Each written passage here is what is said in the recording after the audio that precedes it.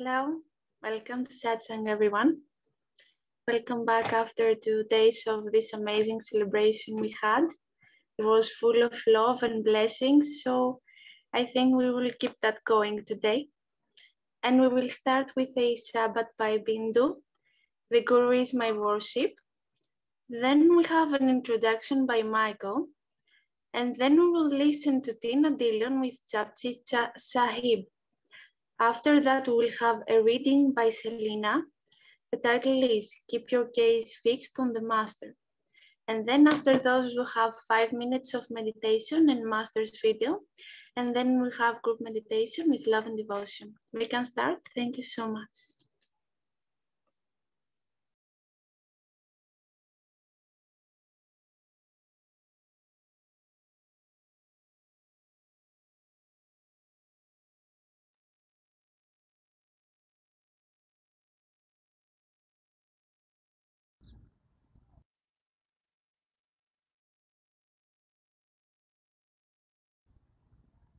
Namaskar ji, all my brothers and sisters.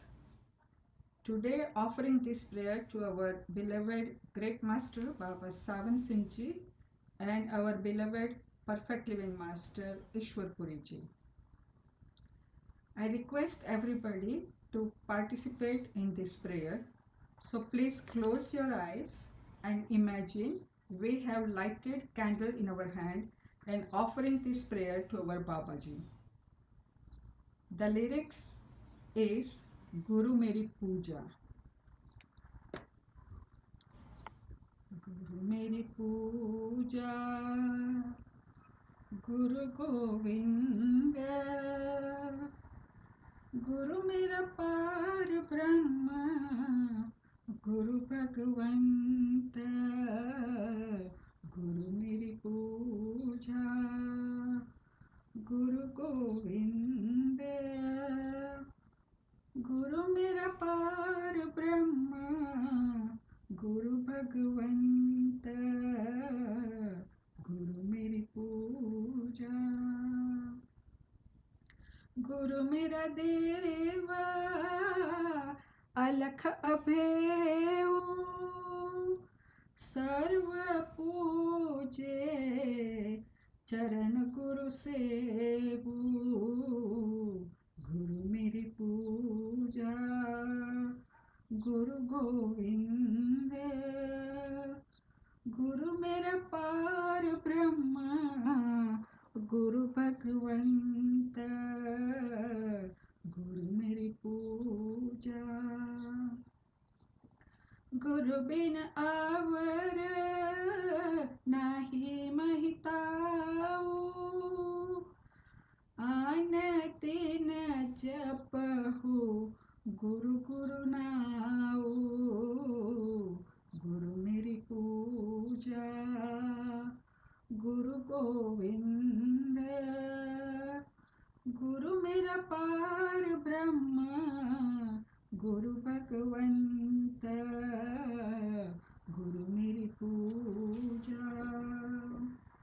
गुरु मेरा ज्ञान, गुरु हृदय ध्यान गुरु गोपाल, पुरख भगवान।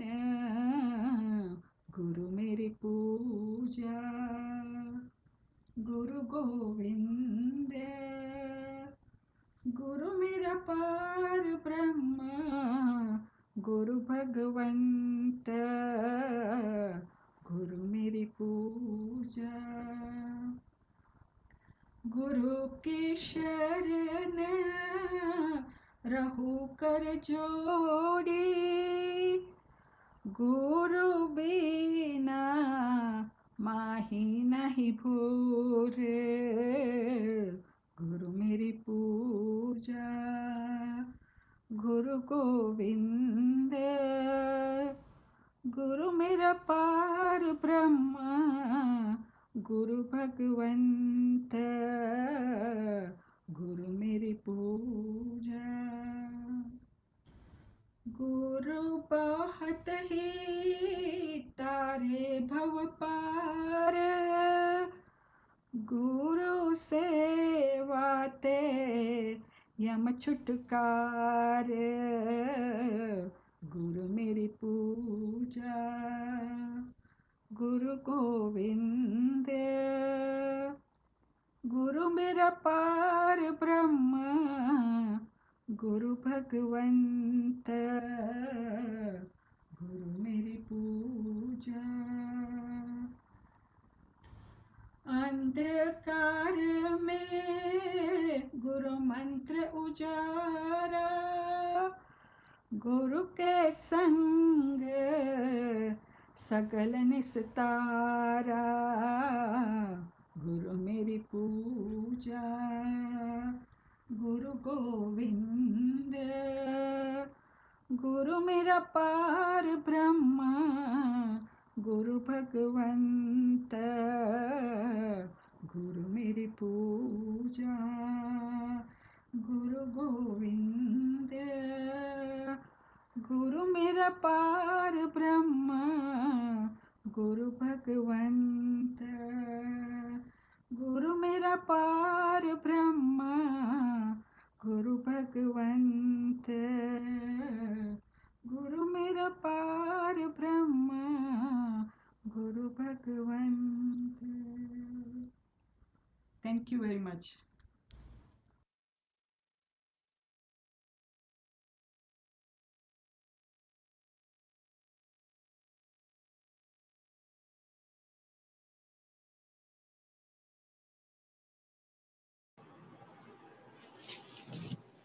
Good morning, everyone.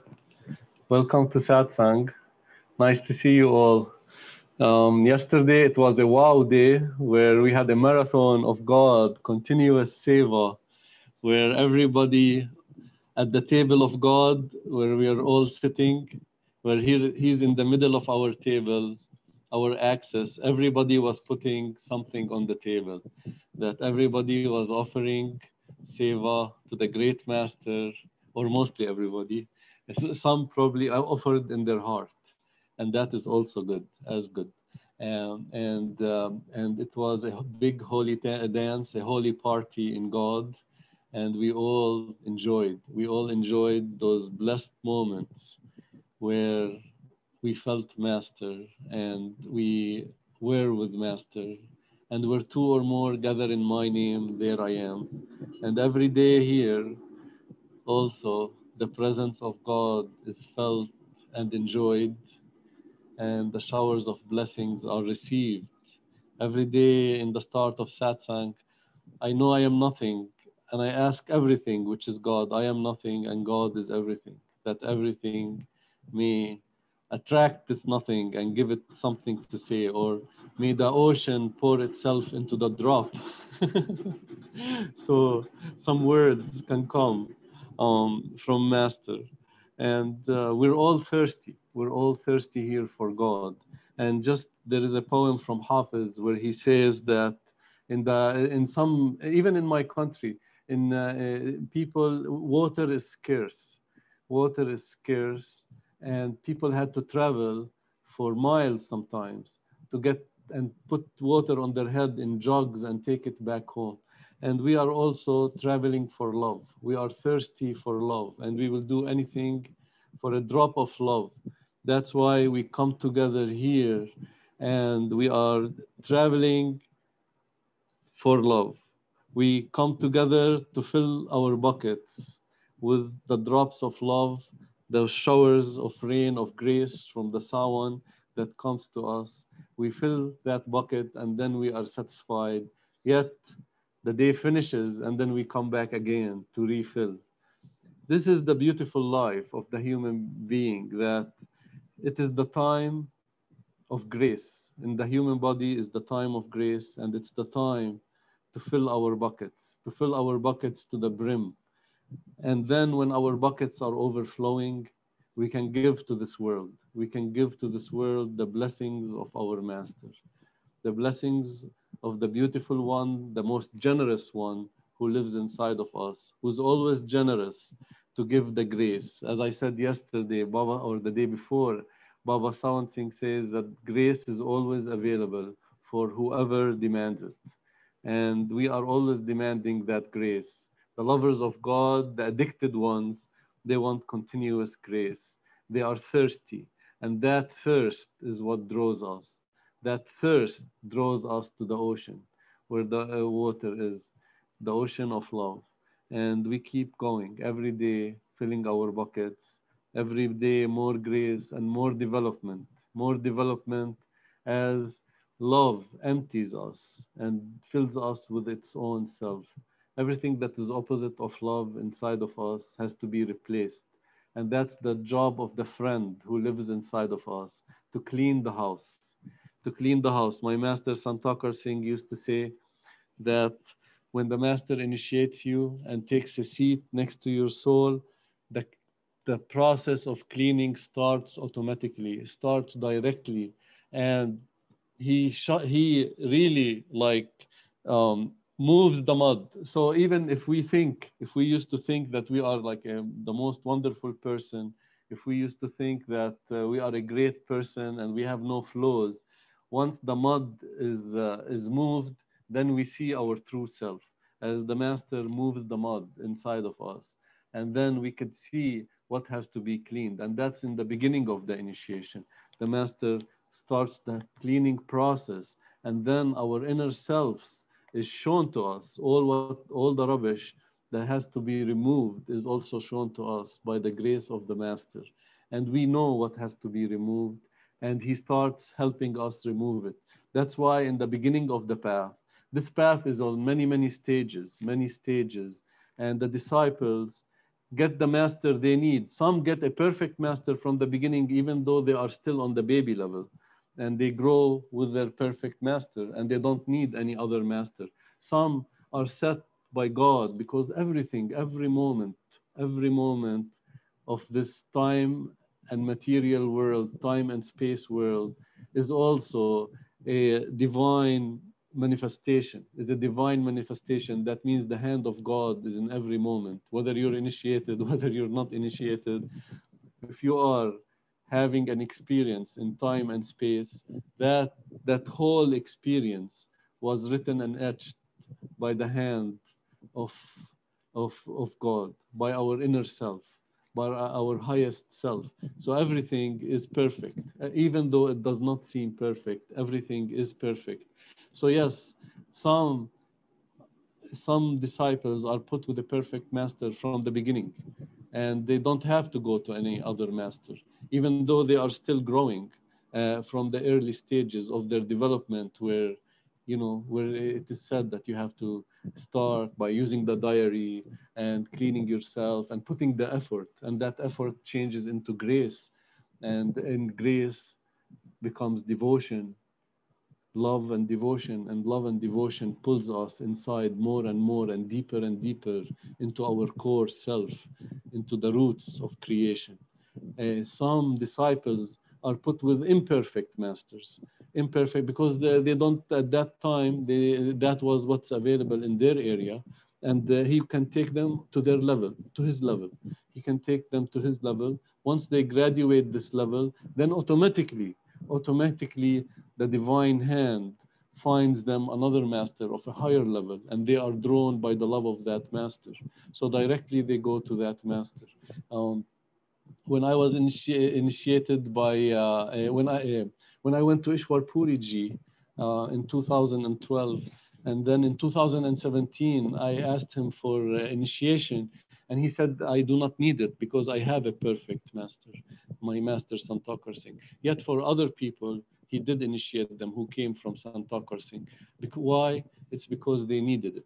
They needed it. They needed that boost, and they were initiated. So everything in the creation of Lord God, including time and space, is according to His design. And we have no worry. We have no worry. We should not worry about who's the successor, who's the perfect master uh, that is after Ishwarji. Why? Because first of all, we have him inside of us. We have Ishwar Puri ji inside of us. We became his friend, and he's inside of us. All what we have to do is to grow in our inner master, to grow in our inner master and have him 24 7.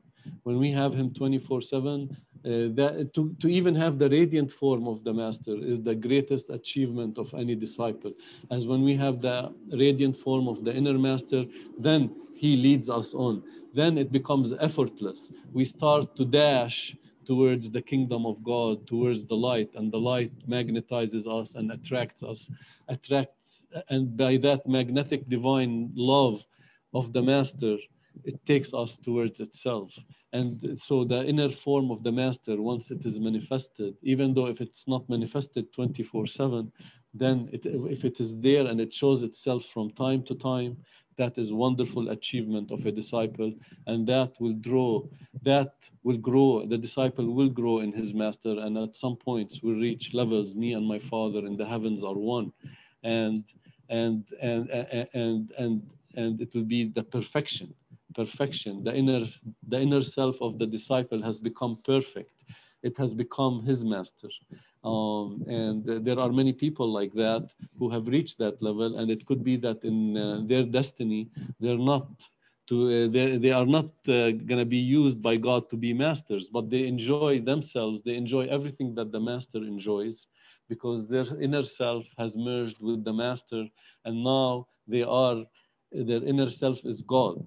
Their core is God, and they function in this world as God in the human being, as God in the human form um, and, and, and they don't have to be masters because it's not in their destiny. People who are only, it's in their destiny that to become masters, then, then God makes them into masters because that's their destiny. And he starts to distribute the grace through them. He starts to distribute the grace through them. And whoever is on their list, whoever is on their list um, uh, will be attracted to them will be attracted to them like moth to the fire.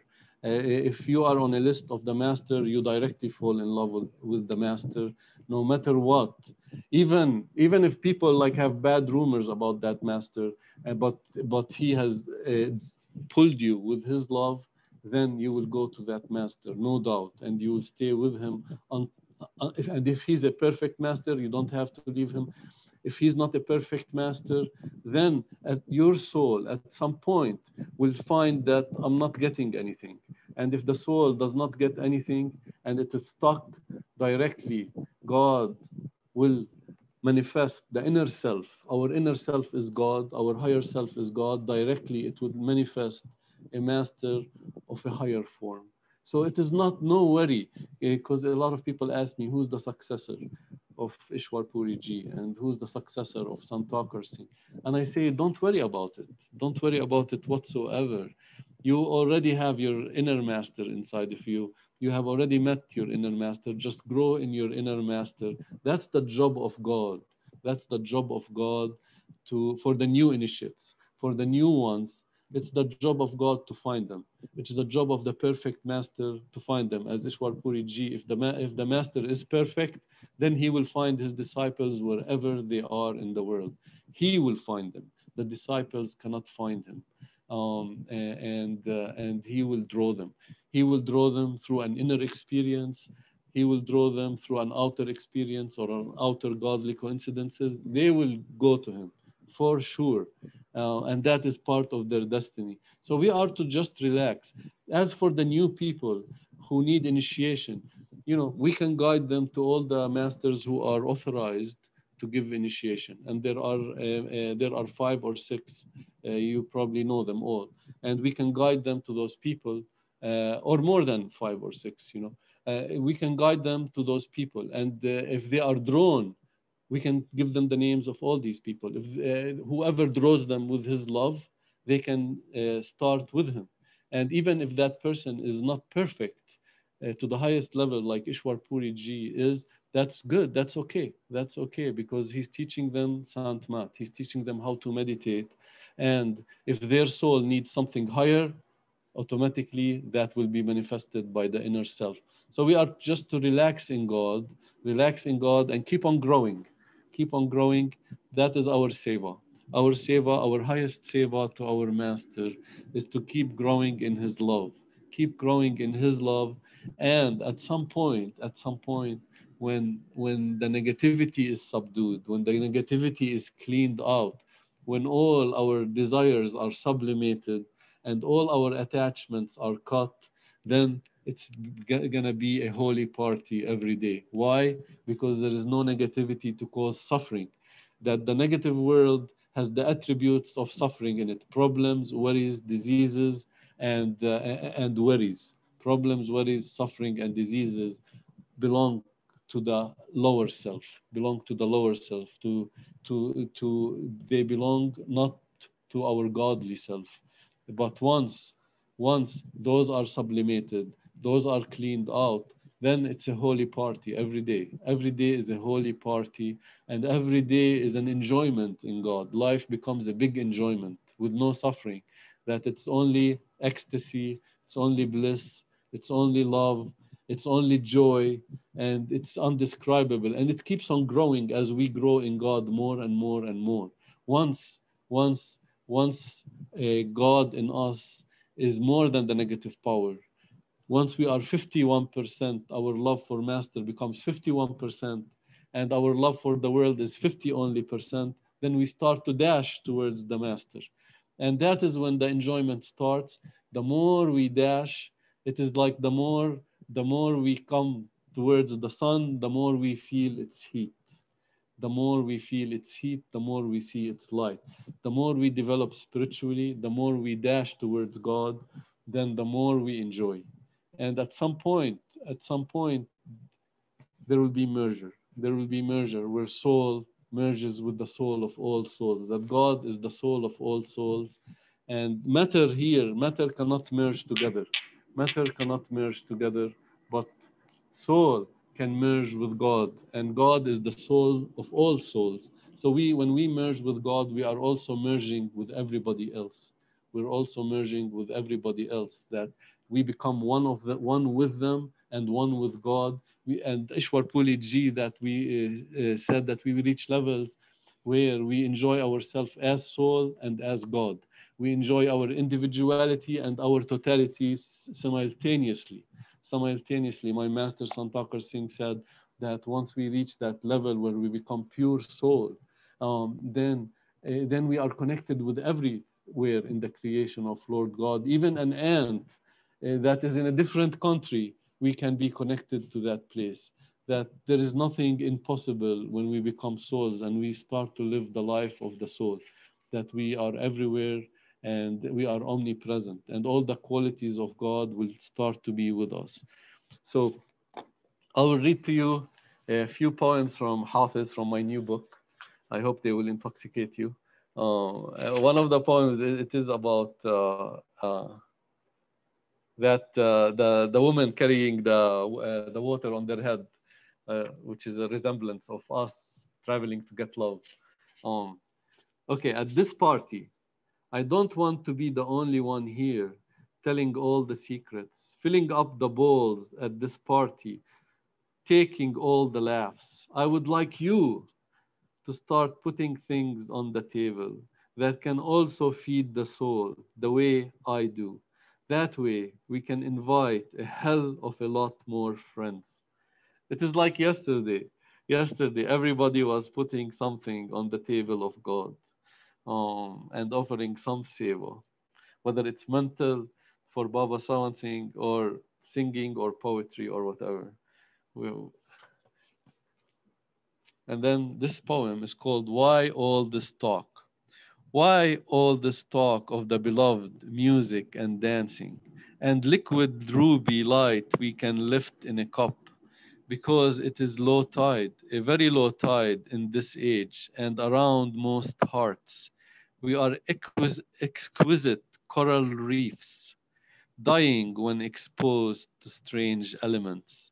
God is the wine ocean we crave, we miss, flowing in and out of our pores. Wow, I love when he said we are exquisite coral reefs.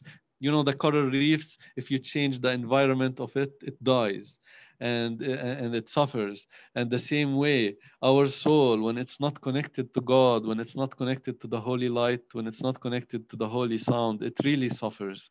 It suffers all the pains that are offered from the from the negative world, the, all the anger and all the other stuff. Um, and it's not a happy soul. But when it is connected to its source, oh my God, life becomes happy. Life becomes happy. God is the ocean we crave, we miss, flowing in and out of our pores. That when we connect with the Shabd, when we connect with the holy light and sound, God starts flowing from all of our pores. All when we fill ourselves, when we fill ourselves. Remember yesterday I gave you the example of the kombucha bottle that that is tightly closed. When it's really, really tightly closed and there is no air coming inside, then it starts to ferment and fizz. It starts to have a fizz and foam. When you open it, it explodes. Why? Because it, it, nothing nothing went inside of it to ruin it. Nothing went inside of it and and it kept itself locked the same way, the same way when we fill ourselves with God and keep it tight in us. That means we meditate on the holy light and sound. We remember God, but when we don't lose, we don't lose that blessings through the lower chakras. You know what I mean? We don't lose it and it only stays in us. We don't lose it through the eyes by looking at something that is unholy.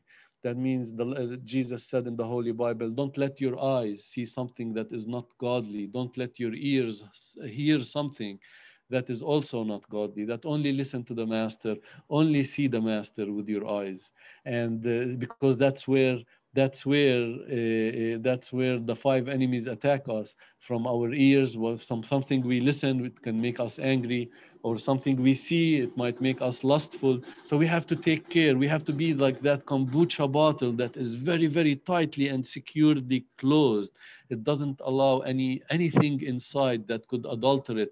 And then what happens? What happens when the time comes that it needs to open? It explodes. It explodes. And the same way us we explode in god. We explode in love we explode in God and we explode in, in love. And that is where all the dams break and the floodgates of God starts to pour in us. That there will be a time we will be so pure and so holy, just like Saint Kabir said. Saint Kabir said that now I became so pure and so holy that God is running after me. God is running after me saying, Kabir, Kabir, Kabir, come here, come here, come here.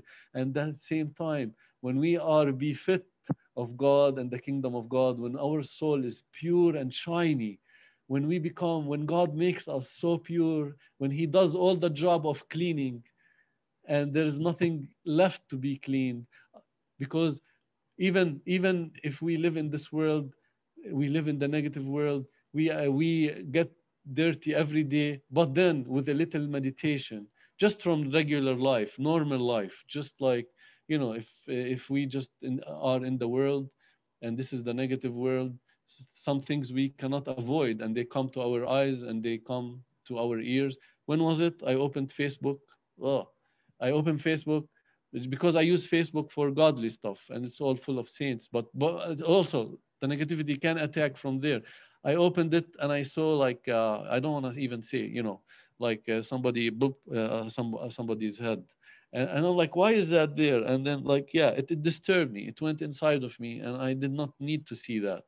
And so like, oh my God.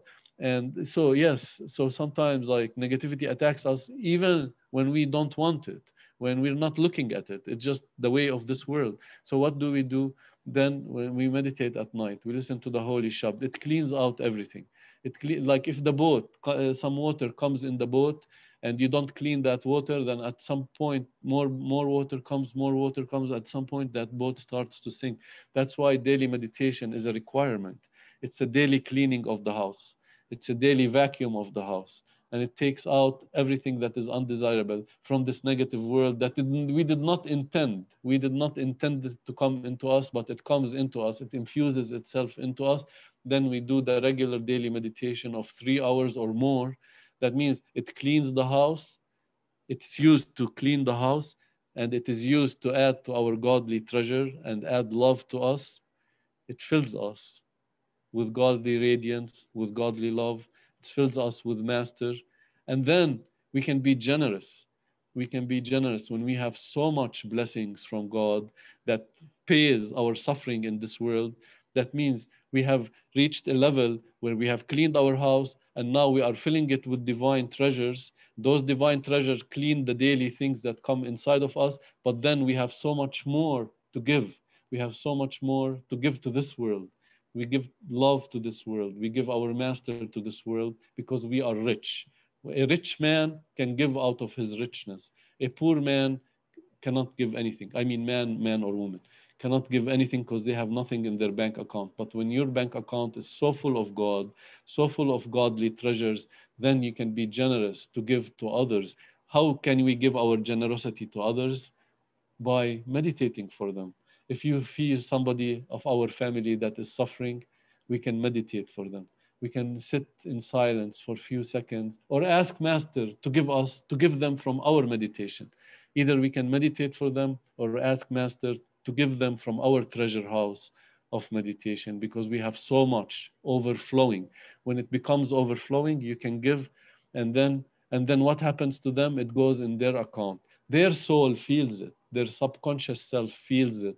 They will be drawn to you and they will be like, wow, you know, because you have given them something that is of the value, is of the currency of God and the kingdom of God not of this world. It's not like give them a gift from this world that is under the law of karma. What you sow, so shall you reap. You are giving them a gift. You are giving them a gift from the kingdom of God that is beyond the law of karma because you want nothing back in return. You want, but it's a selfless gift. It goes directly to their subconscious. They feel it and they will start to run after you. In the same way, when we are rich in God, when we have when we are overflowing with our meditation, then any anybody who is giving us a problem due to the karma reasons, maybe we have gave them a problem in the past lives and they are not nice to us, we can ask the Lord to give them from our stock. We can ask the Lord to give them from our stock, or we can meditate for them. If you have a problem, like suppose you are going to a court and there are people who are going to meet you in the court, the police, and uh, and uh, because of like an, a ticket or something, uh, and the judge. So you sit, sit in meditation, and ask the Lord to give that meditation to those people that you're going to meet that day, and then it will pay off your ticket. It will pay off all the suffering that you were going to go through, and everything will be smooth, and everything will be solved in an instant.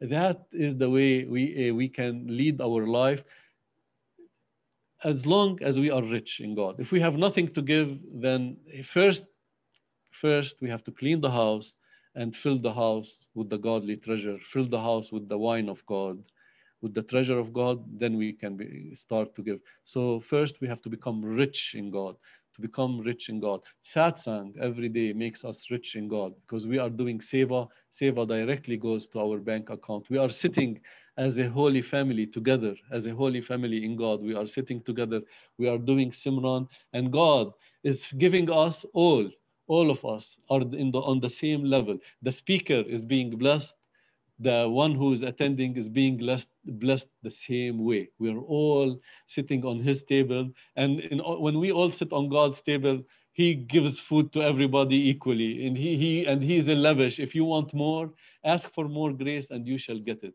ask for more grace and you shall get it. He gives all of us as, as, as much as we ask for. As much as we ask for, we give. All what we have to do is keep our attention on Master, keep our attention on the perfect one. When our attention is on the perfect one, He keeps filling our plates with the manna of life. He keeps filling our cups with the elixir of life, with the water of life.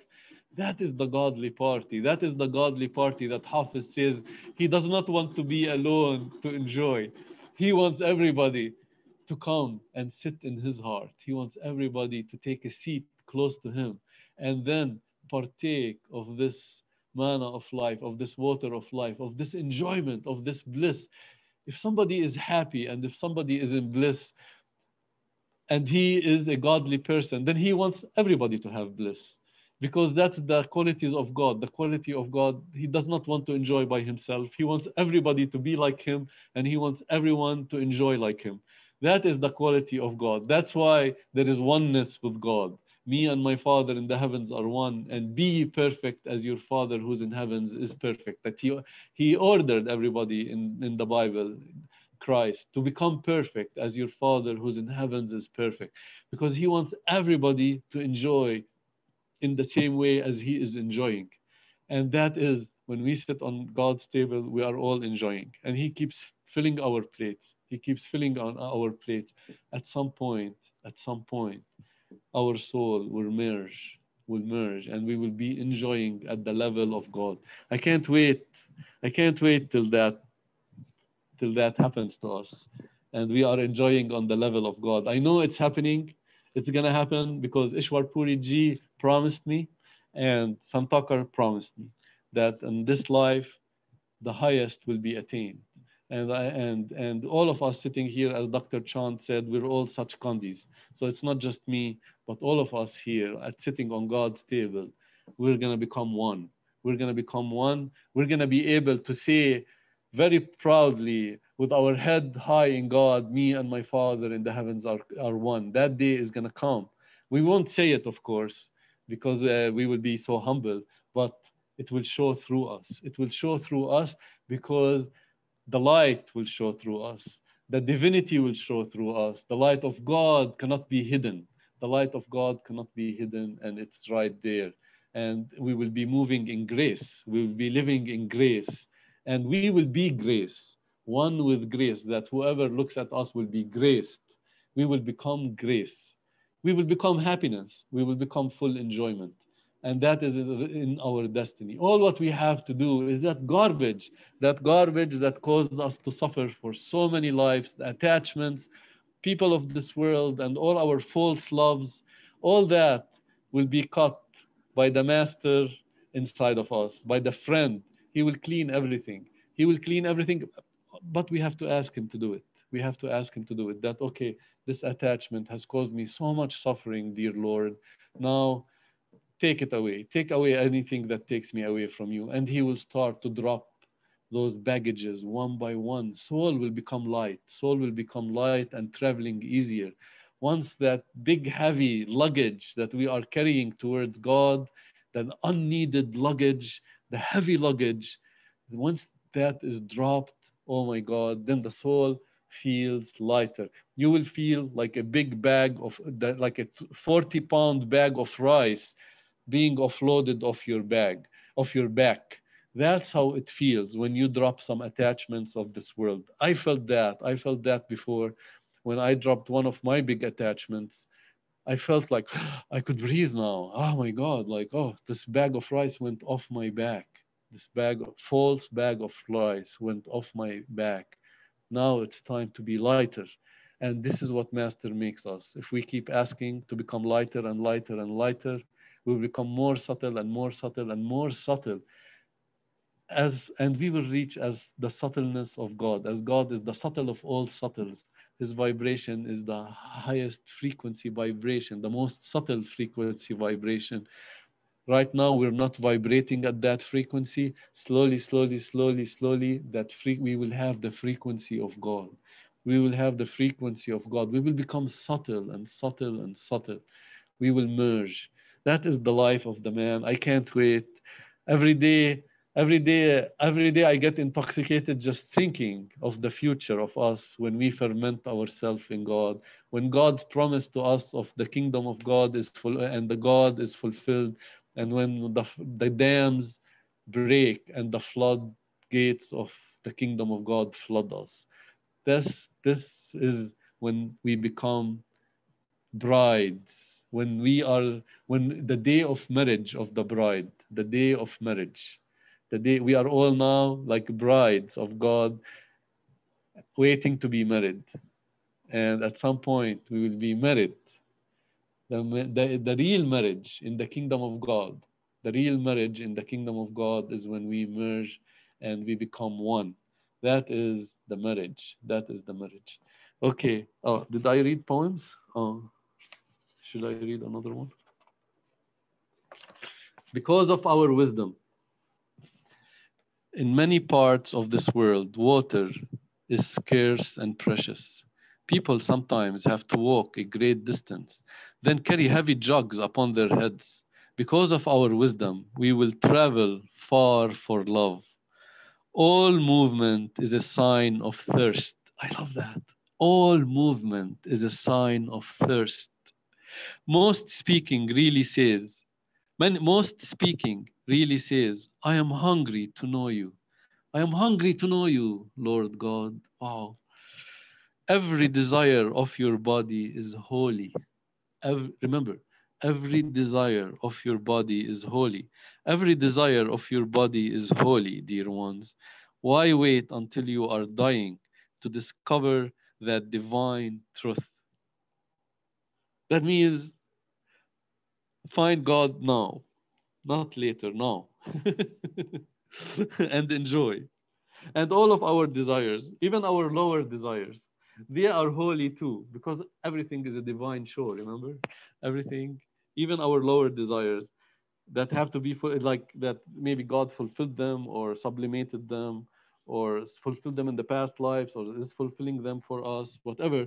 Everything is holy because everything is made by Him and it is all His divine show from A to Z is the negative and the positive is in God. And every, okay, cool. So thank you, Master, for the seva.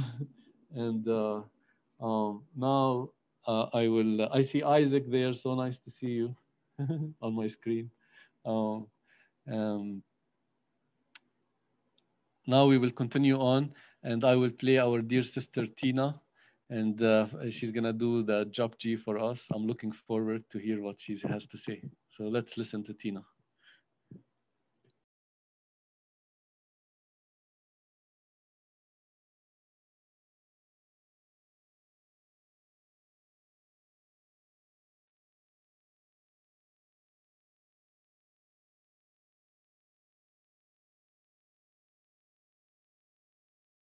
Hi, beautiful holy family.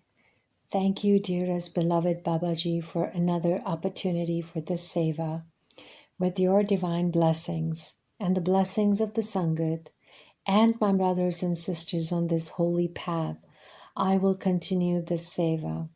As always, my reference points are the Japji by Sant Kripal Singh Ji Maharaj.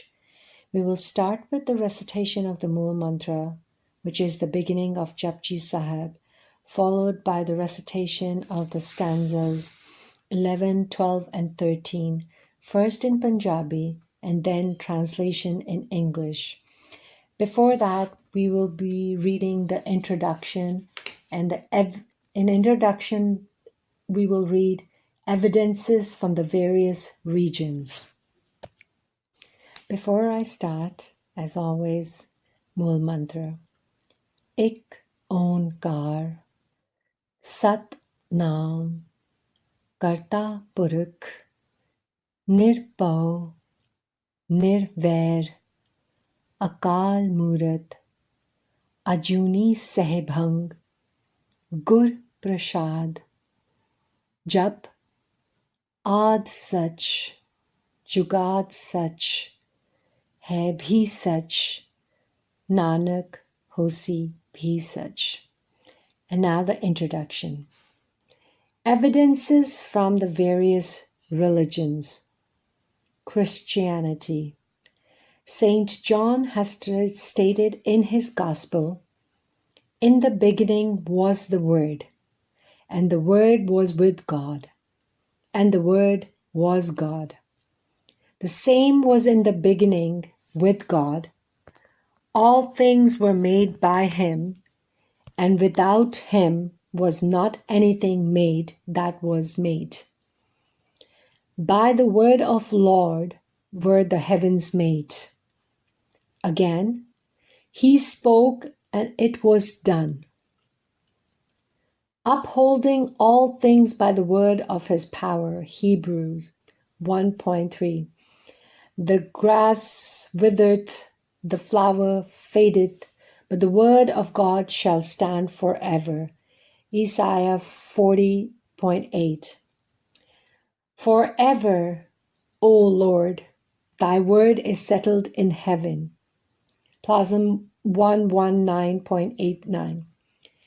St. Paul said, For the word of God is quick, living, and powerful and sharper than any two edged sword, piercing even to the dividing asunder of soul and spirit, and of the joints and marrow, and is a discerner of thoughts and interests of heart.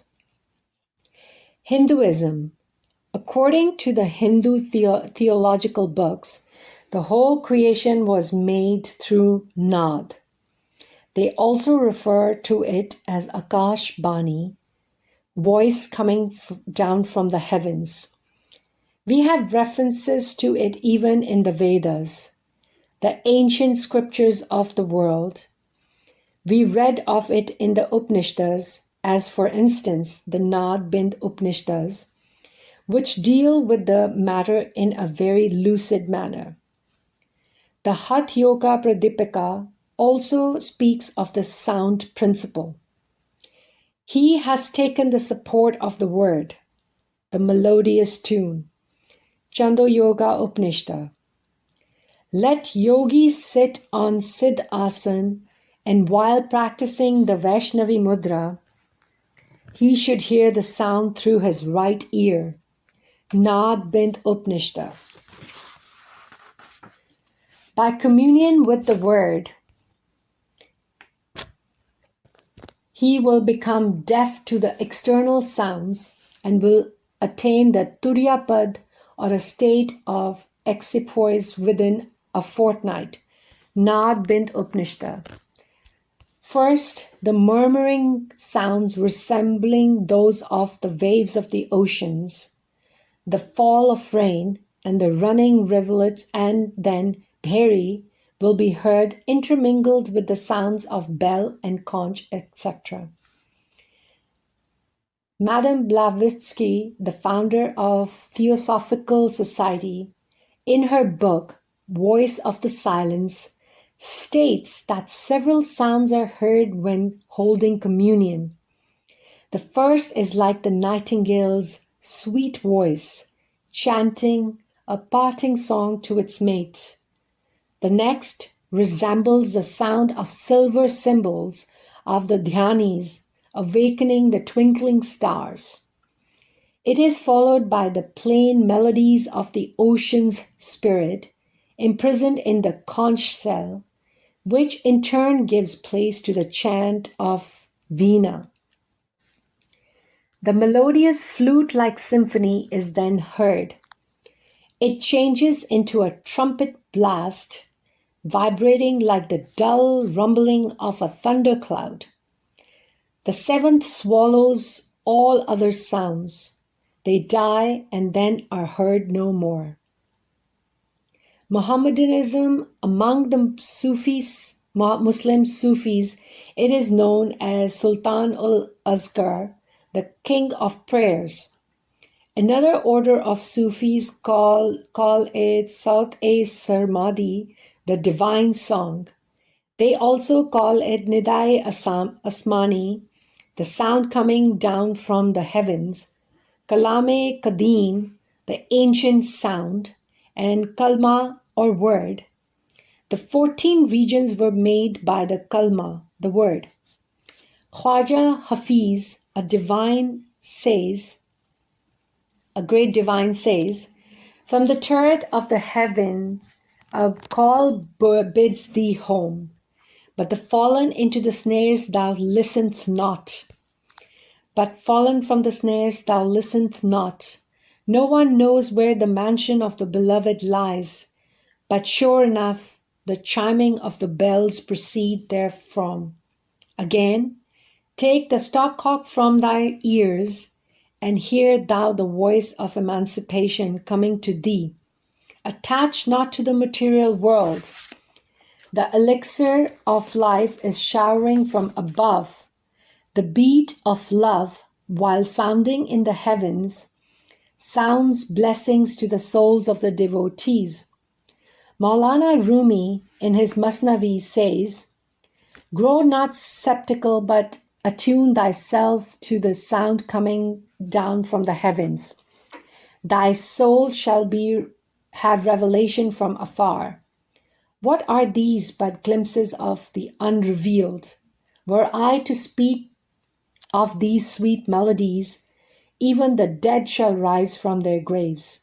Again, rise above the horizon, O brave soul, and hear the melodious song coming from the highest heaven. Prophet Muhammad says, The voice of God comes unto my ears as any other sound.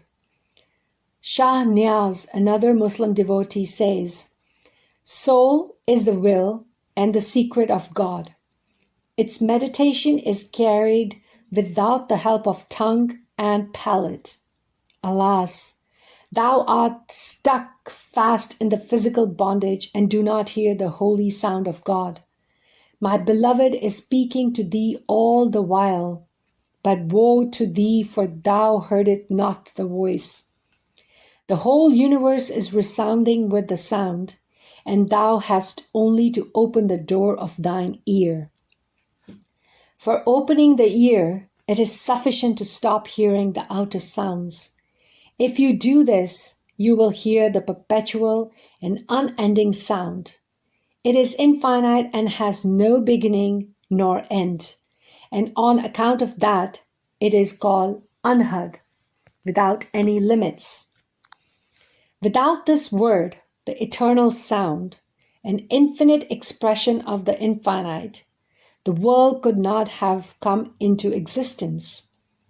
Hold communion with the melodious sound and lose yourself in it, O wise man. Kabir Sahib says, Without the word, sound, or eternal song, the soul sees not where would she go. As she cannot fathom the mystery of the word, she is wandering from place to place.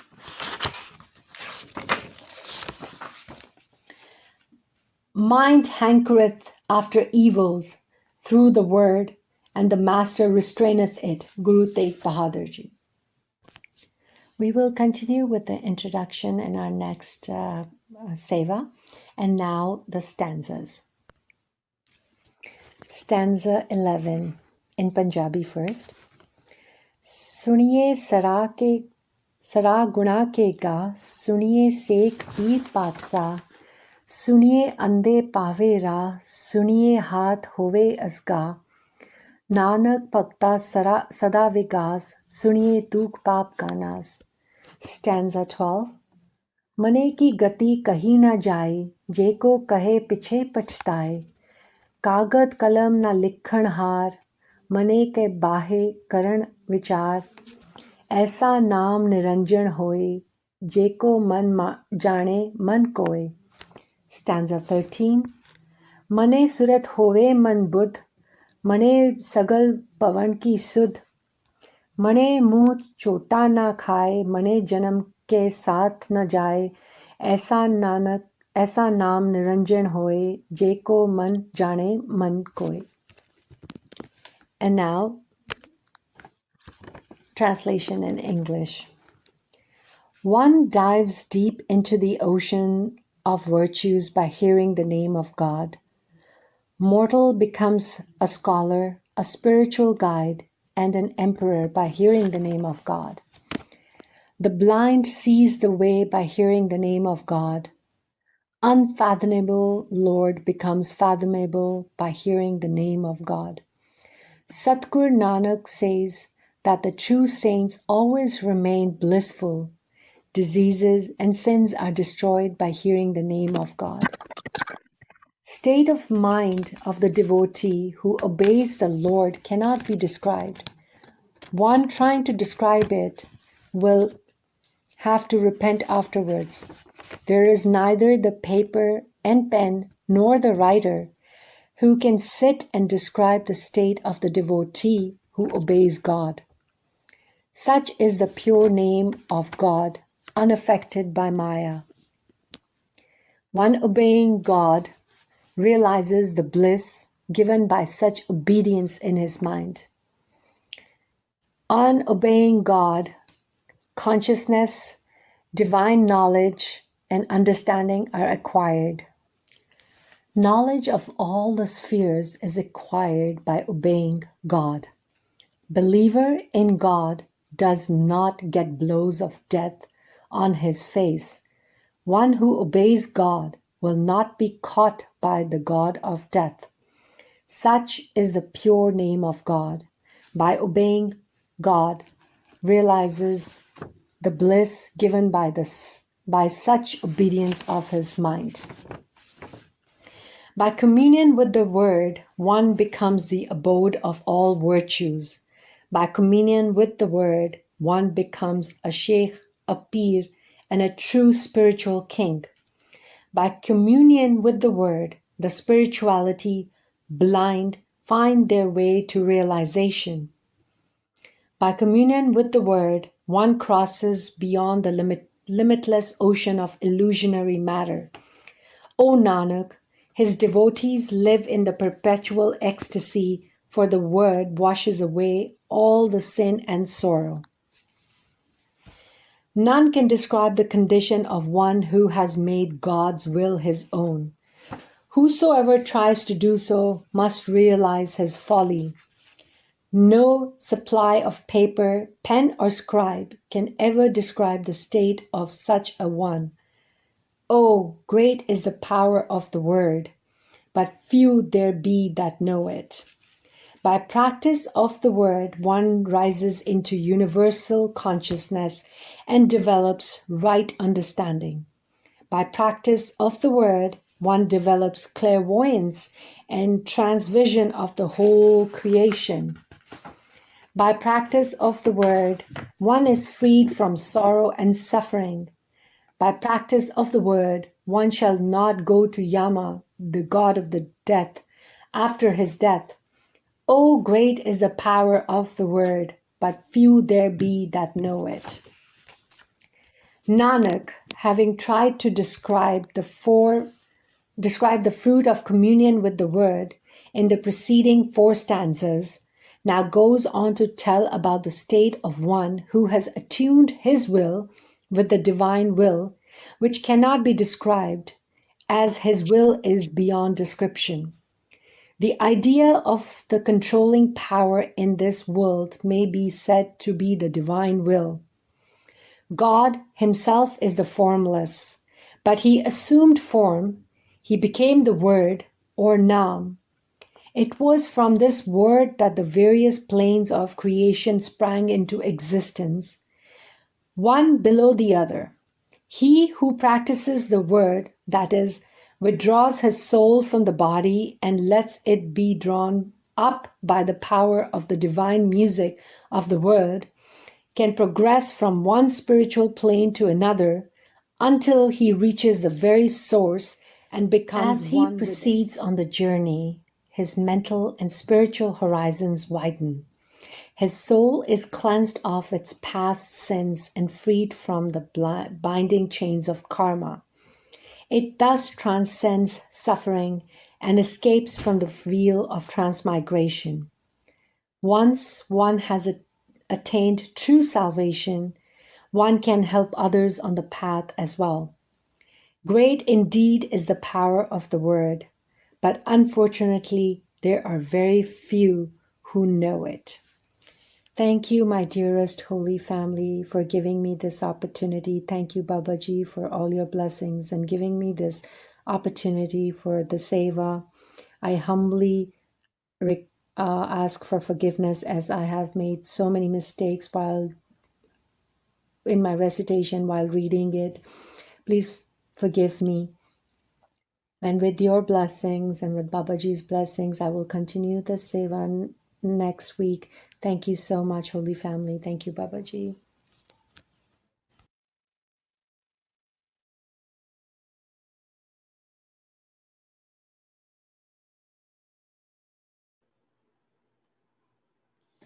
Thank you so much, dear sister Tina. I enjoyed every moment and I enjoyed what the Shabd does for us, what Nam does for us, and how it transforms us.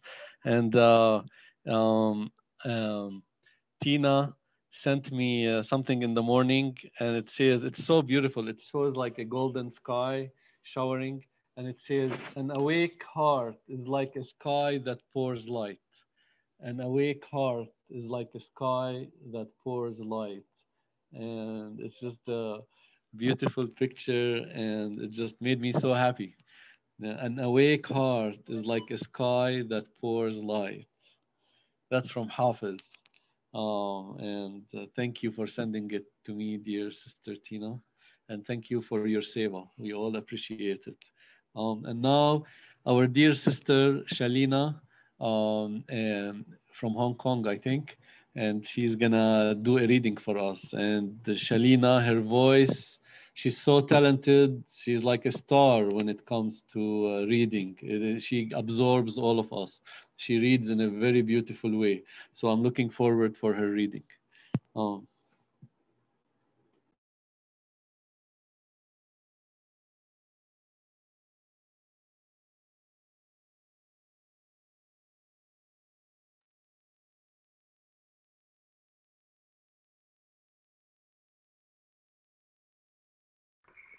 Thank you so much to the Seva um, committee for enabling me to perform Seva for my master as well as to you. Today's topic is Keep Your Gaze Fixed on the Master and how relevant it is for us. Tulsi Sahib was a mystic with a Hindu background who lived in Hathras in 18th century India. He wrote many poems about the inner spiritual path that leads to God realization. Among them are a few devotional poems that he had addressed to Sheikh Taki, a Muslim saint. Sheikh Taki was on his pilgrimage to Mecca and happened to pitch his tent in the neighborhood of Tulsi Sahib's residence. In this poem, Tulsi Sahib is explaining to Sheikh Taki what it means to follow a spiritual master and what a disciple needs to do. Fix your gaze on the master who has offered you his hand. Do not be neglectful or give up if you wish to behold the splendor of your beloved. Mystics and saints urge us to keep the purpose of human life in mind and to focus on that goal every day of our entire life. What is the purpose of life? The main purpose of life is to realize God. This privilege the Lord has bestowed only on human beings. Everything else we have been getting every time we have come into this world in any form, in any species. But the privilege of going back to the Father can only be achieved in human life.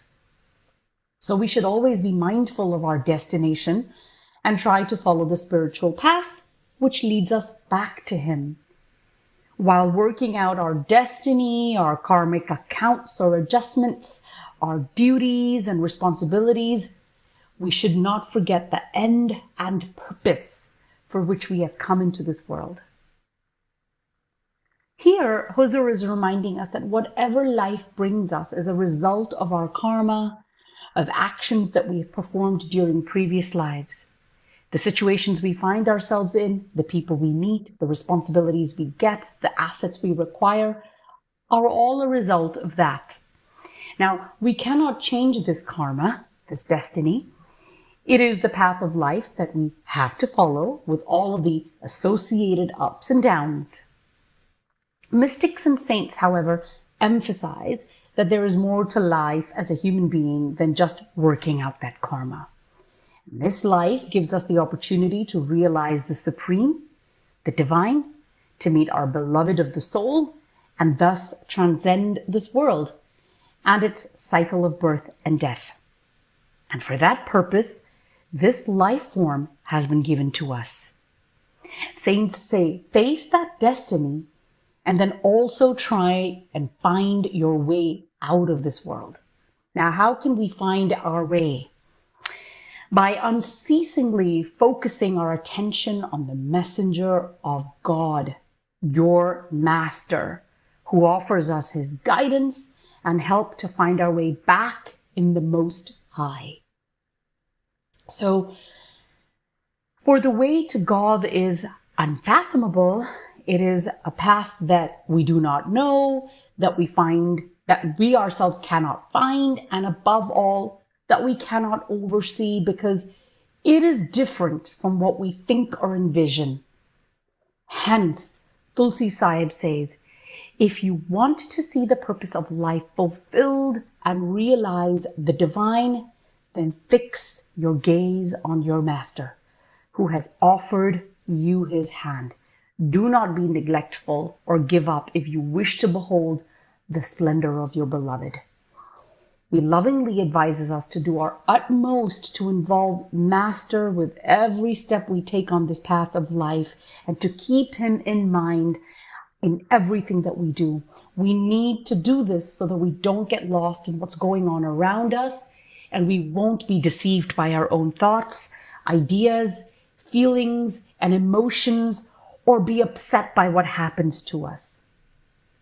The master knows the way. He knows the ups and downs we have to go through, and he is only too happy to guide us through them. Hence, he reaches out his hand to help us. It's up to us to let ourselves be taken by the hand, to put our hand in his, and to surrender to his guidance.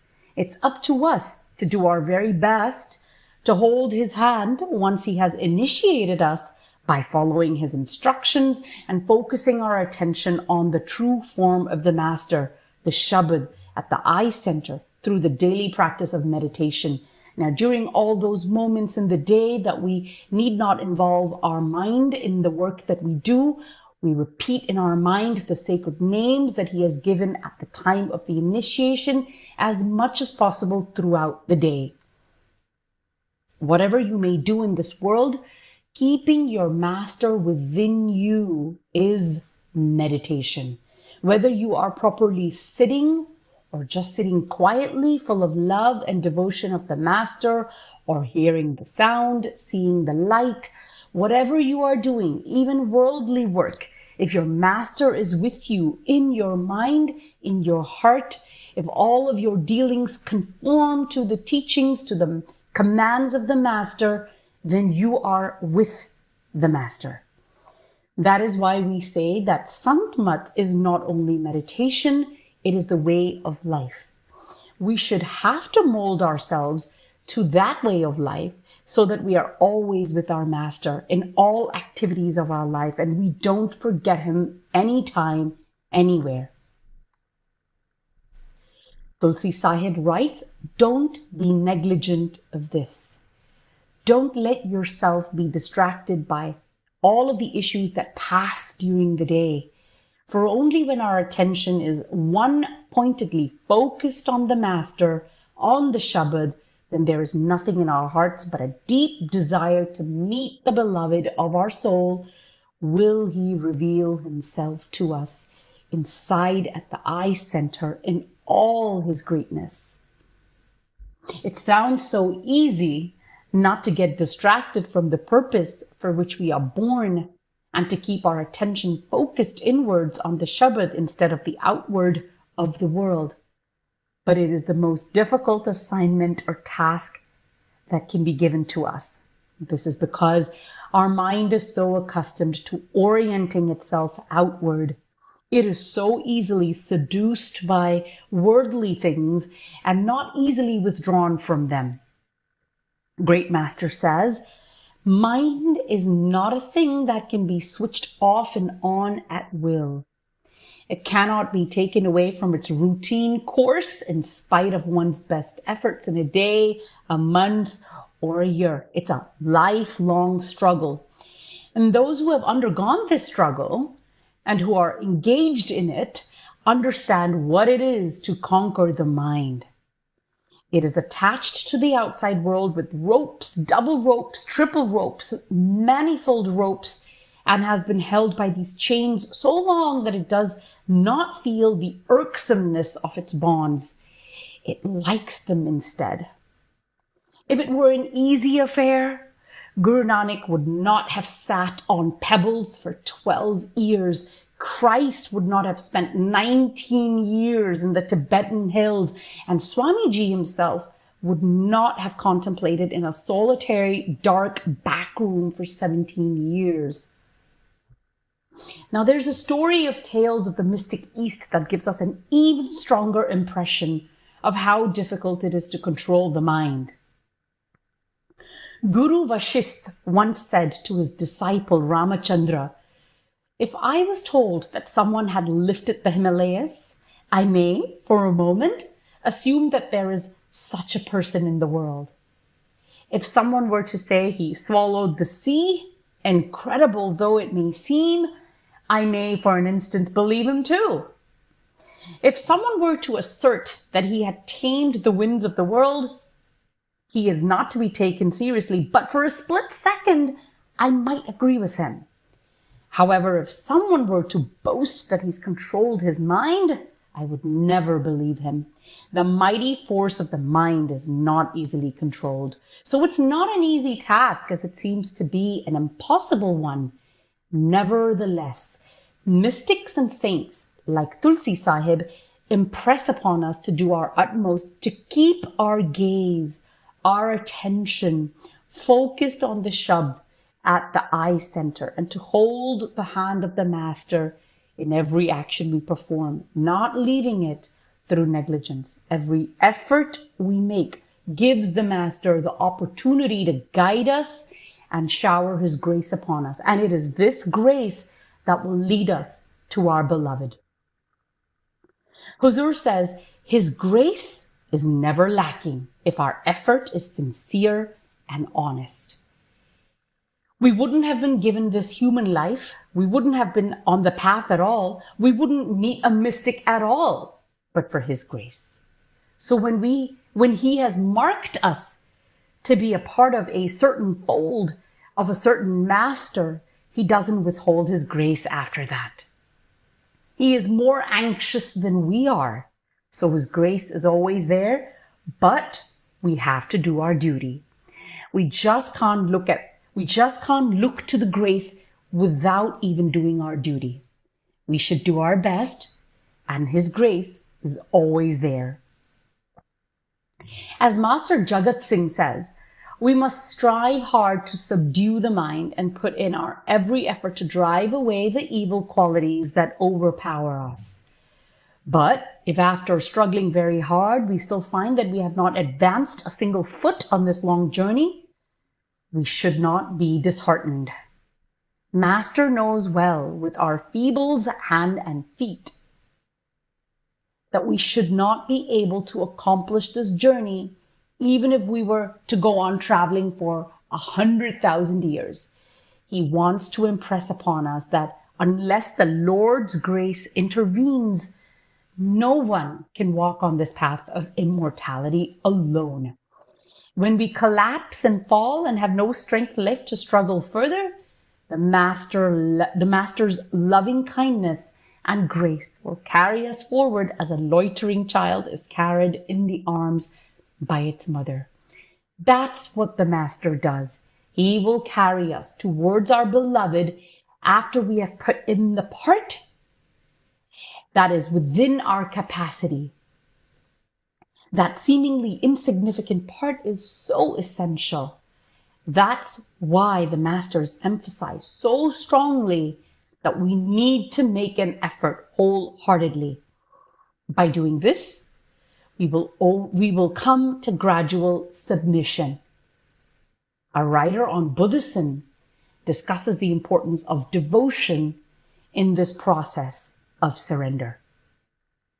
The Bhaktic trend eliminates in faith all reliance of self power, all reliance on one's own ability to plan and control one's own life and salvation. Surrender in faith involves a high degree of extension of separate selfhood, partly because one does not rely on oneself or one's own power, and partly because one sees the futility of all conscious and personal efforts and allows oneself to be carried to salvation.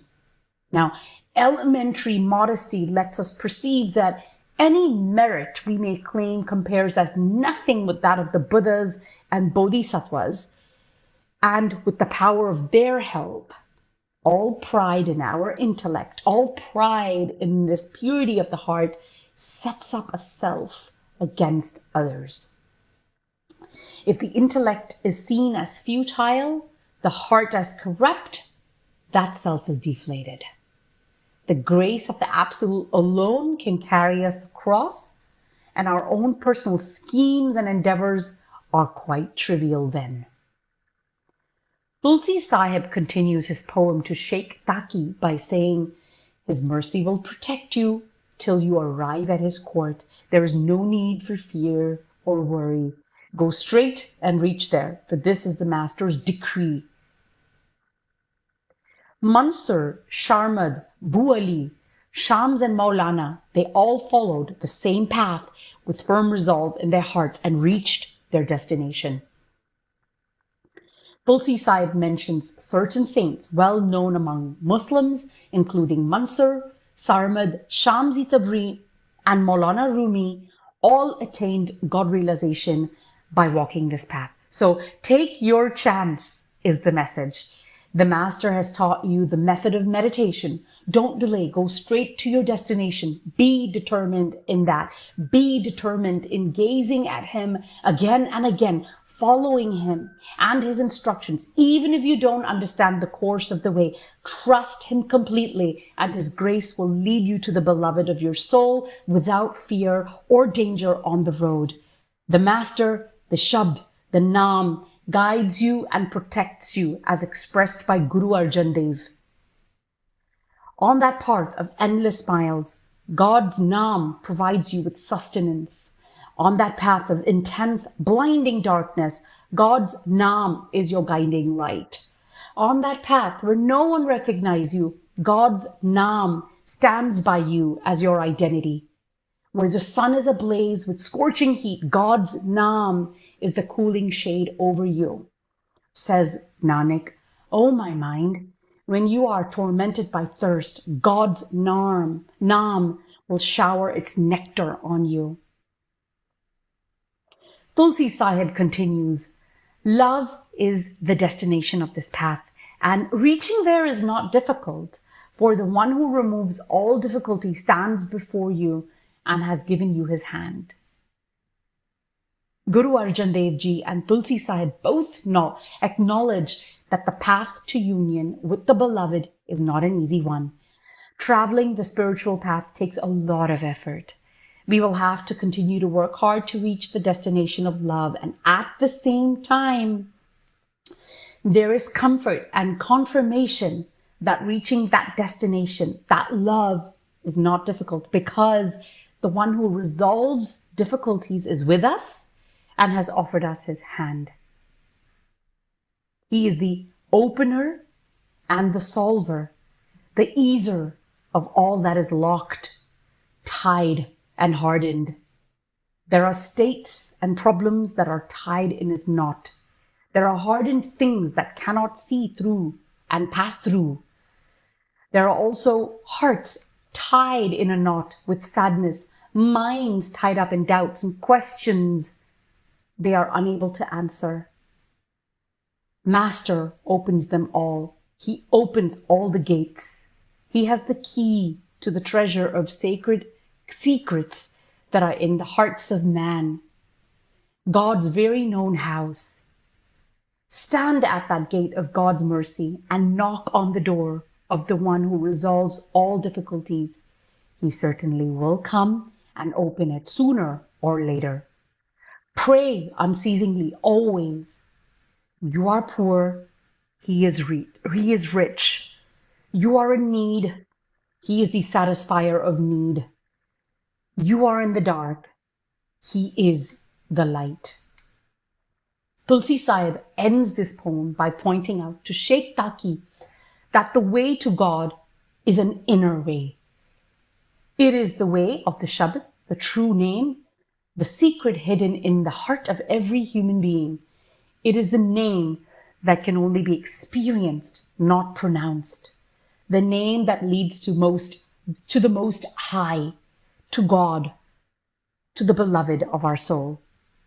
Tulsi's advice is to cherish it within when you experience it. Don't talk about it. It's the treasure of treasures, the most precious experience that can be given to you. It's the secret way to union with our beloved of your soul. By following it, the purpose of your life will be fulfilled and your journey through creation will come to an end. Thank you.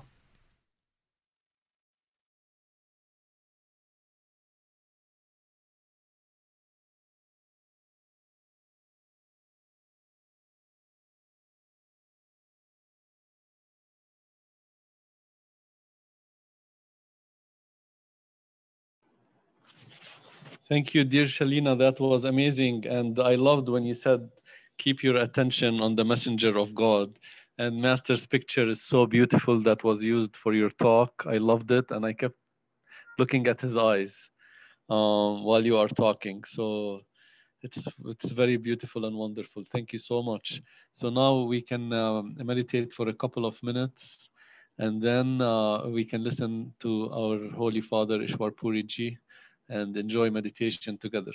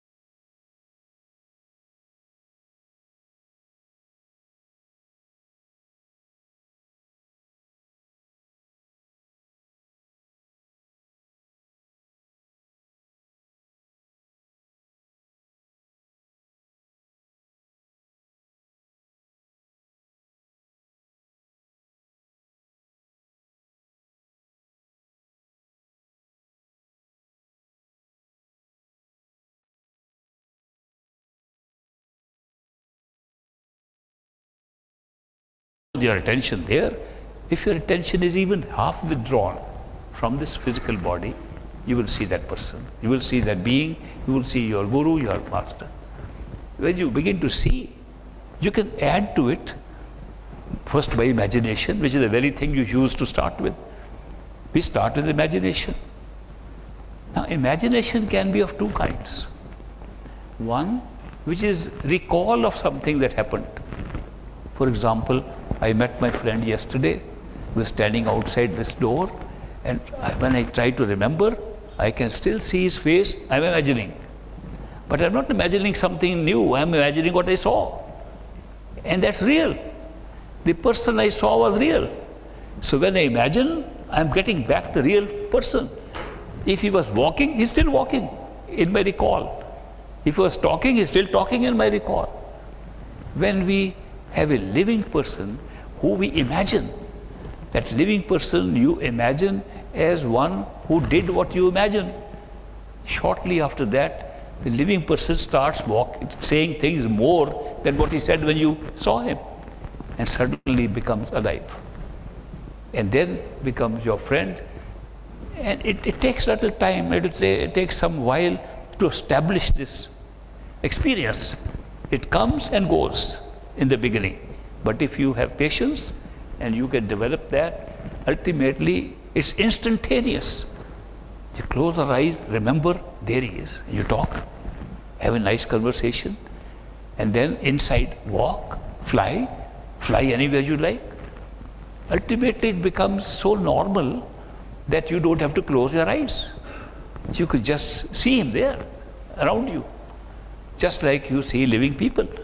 You suddenly find he is more alive from inside out than he is from outside in.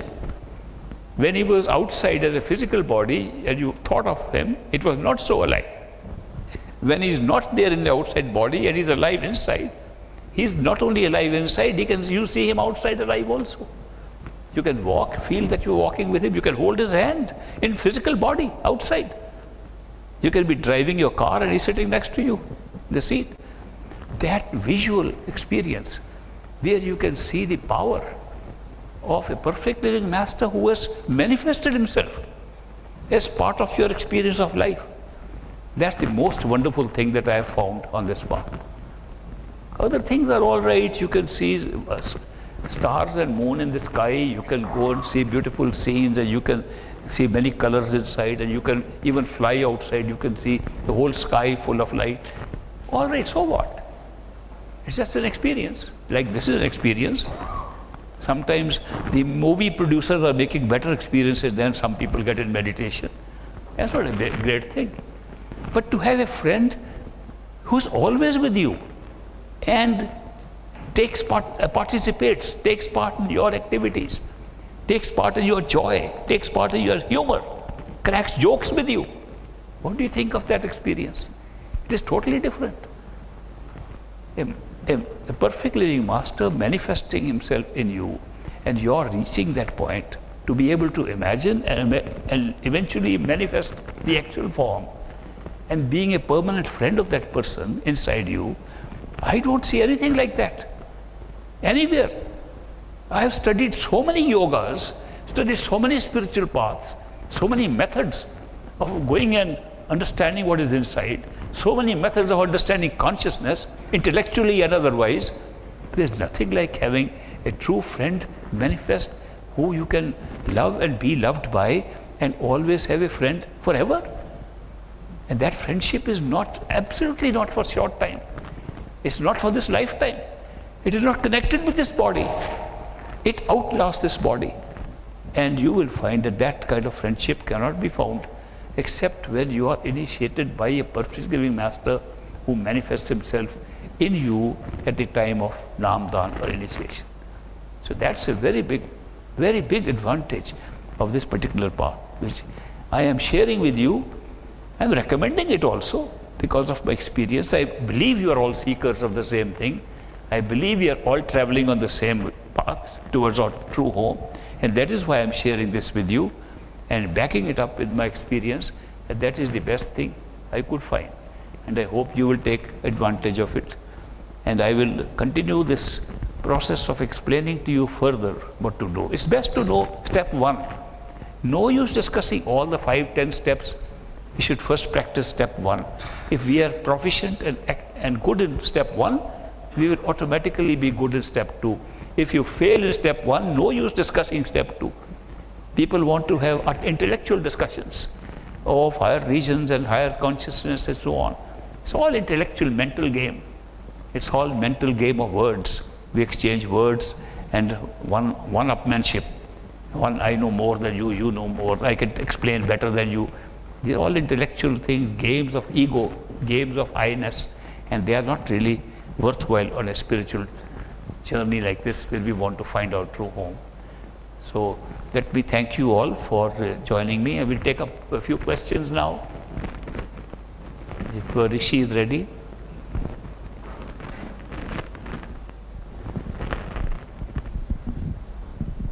Dear Master, I miss you a lot and love you a lot.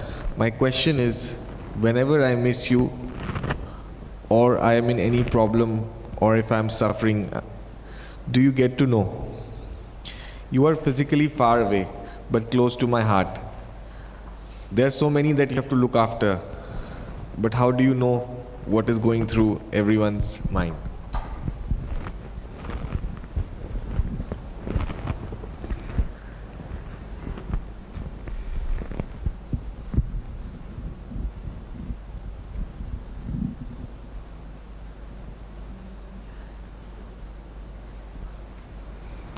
Interesting question. Why it's interesting for me is because I asked the same question once, long ago. I asked the same question from Great Master. I said, Master, you say that you are inside us, and when we want to ask any question, we are in trouble, we want help, you will help us from inside. Do you have any knowledge outside also? That we are doing this thing or is it all our own internal thing? One, one master, whose name was Baba Fakir Chand from Hoshiarpur, he made a statement in his satsang. He said, Masters know nothing. They are ordinary human beings like us.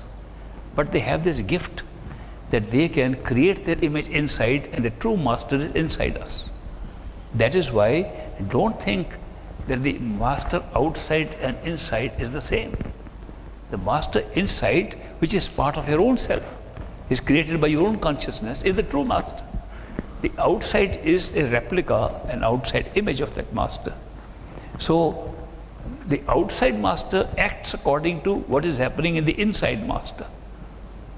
He gave that example, Fakir Chand gave that example, that masters as physical beings are not all knowing that they, so I, I, was very uh, interested in that statement of Baba Fakir Chand because he was our neighbor when my father was teaching as a professor in Hoshiarpur. We used to meet him frequently. He was a very enlightened person. So at one time I had to ask him the same question, which I had asked Great Master once, about whether the master in physical body knows everything. And Baba Fakir Chand said, of course. They are not different. But the outside has to behave like an ordinary person, unknowing. Because if he says he knows outside, what will happen? Nobody will go inside. Everybody will run after the outside person. Therefore, it's appropriate for a master to tell he knows nothing, go inside and find out from your true master inside. So it's very appropriate behavior of a perfect living master to do that. Now, this is what he explained, and I understood it that the masters want us to meditate and find the truth inside. Otherwise, we are running after illusions. Master's outer form is part of the illusion. When you die, everything dissolves, including the form of the master. But what does not dissolve is the inner form of the master.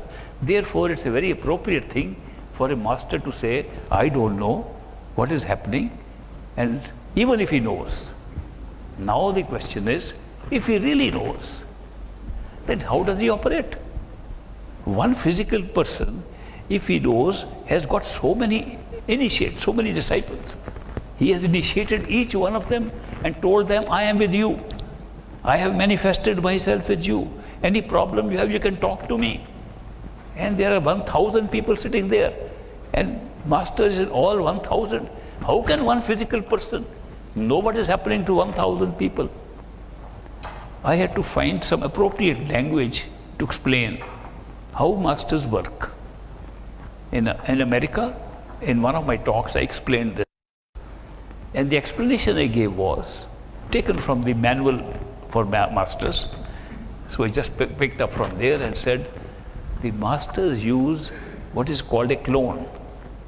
A clone is a replica of the master. And they make a clone and put that clone of themselves in each person they initiate.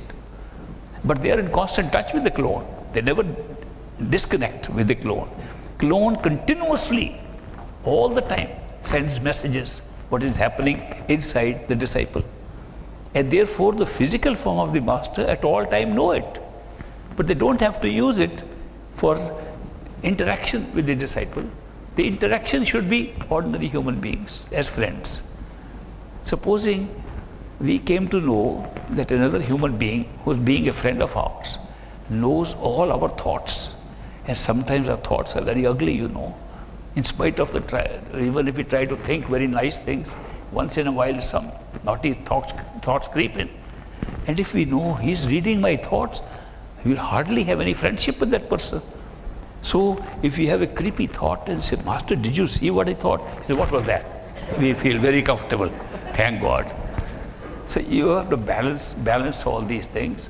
The truth is that the master in his awareness knows everything. He knows.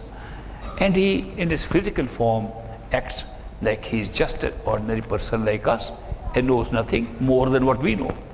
And therefore we can be have very free with such a master as external physical friendship. As external physical friendship, he can be very free. When we go to this form inside, he can be very different. He can show his full knowledge, he can show everything and give all the answers. Inside, he won't say, I don't know what it is. Outside, he will. But this is part of a single plan. It's not different. So once you know what this cloning system is, a master can produce a thousand million clones and take care of them and be in touch with all of them. If we don't understand how a master can through clones be in touch with all of them, take the digital world and in one little chip you can have a connection continuously working with not millions but billions of points. So it's not very difficult for the consciousness of a master to be in touch with all of them. Though in the physical body, in physical relationships, he will pretend he knows as little or as more as you do, as your friend does. And that sustains the friendship at the physical level. This uh, uh, system works beautifully. And sometimes we think that the master may be using a clone, but does not know what's happening. Somebody complains, he says, Master, had this problem. Oh, let me check with the clone. It's not like that then it's not a clone. Then we are separating that uh, clone from the master. Clone means identical copy. It's an identical copy of the master. And the awareness of the clone, because clone is inside, physical part of the master is very far away. Physical master is so far away, has no time for anybody, and we hardly get to see him for a little while. But the clone is always there. Therefore, the clone acts more aggressively in being our friend. And the master in the physical form, with his remoteness, acts like ordinary human being. It's a great combination. It's good to know. And then sometimes, if we begin to really suspect, supposing we say, no, no, no, Baba Fakir Chand was more right than we are explaining now. He really did not know anything. And masters really don't know anything. And this mind our doubting mind, which can doubt anything, begins to doubt. Master really doesn't know. It's just a theory that they made up of clone and all that.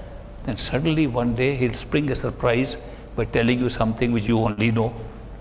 How did Master know that? It is just one little example he will give and put you back on track. No, no, no, he knows.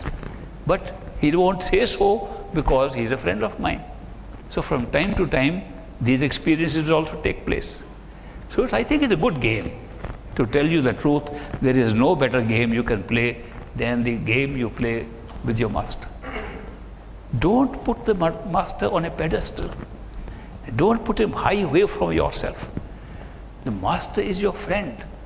Friend here in the physical form and friend inside. And he will share your life like you share with any friend. He will share your joy, your sorrows, your suffering. He'll suffer with you. He'll feel sorry when needs to be sorry. And he'll fly with you. He will dance with you. He will eat with you. It's a very different relationship once you establish the form of the master inside. And that's the beauty of this Nam Dan by a perfect master. That's the relationship that's created.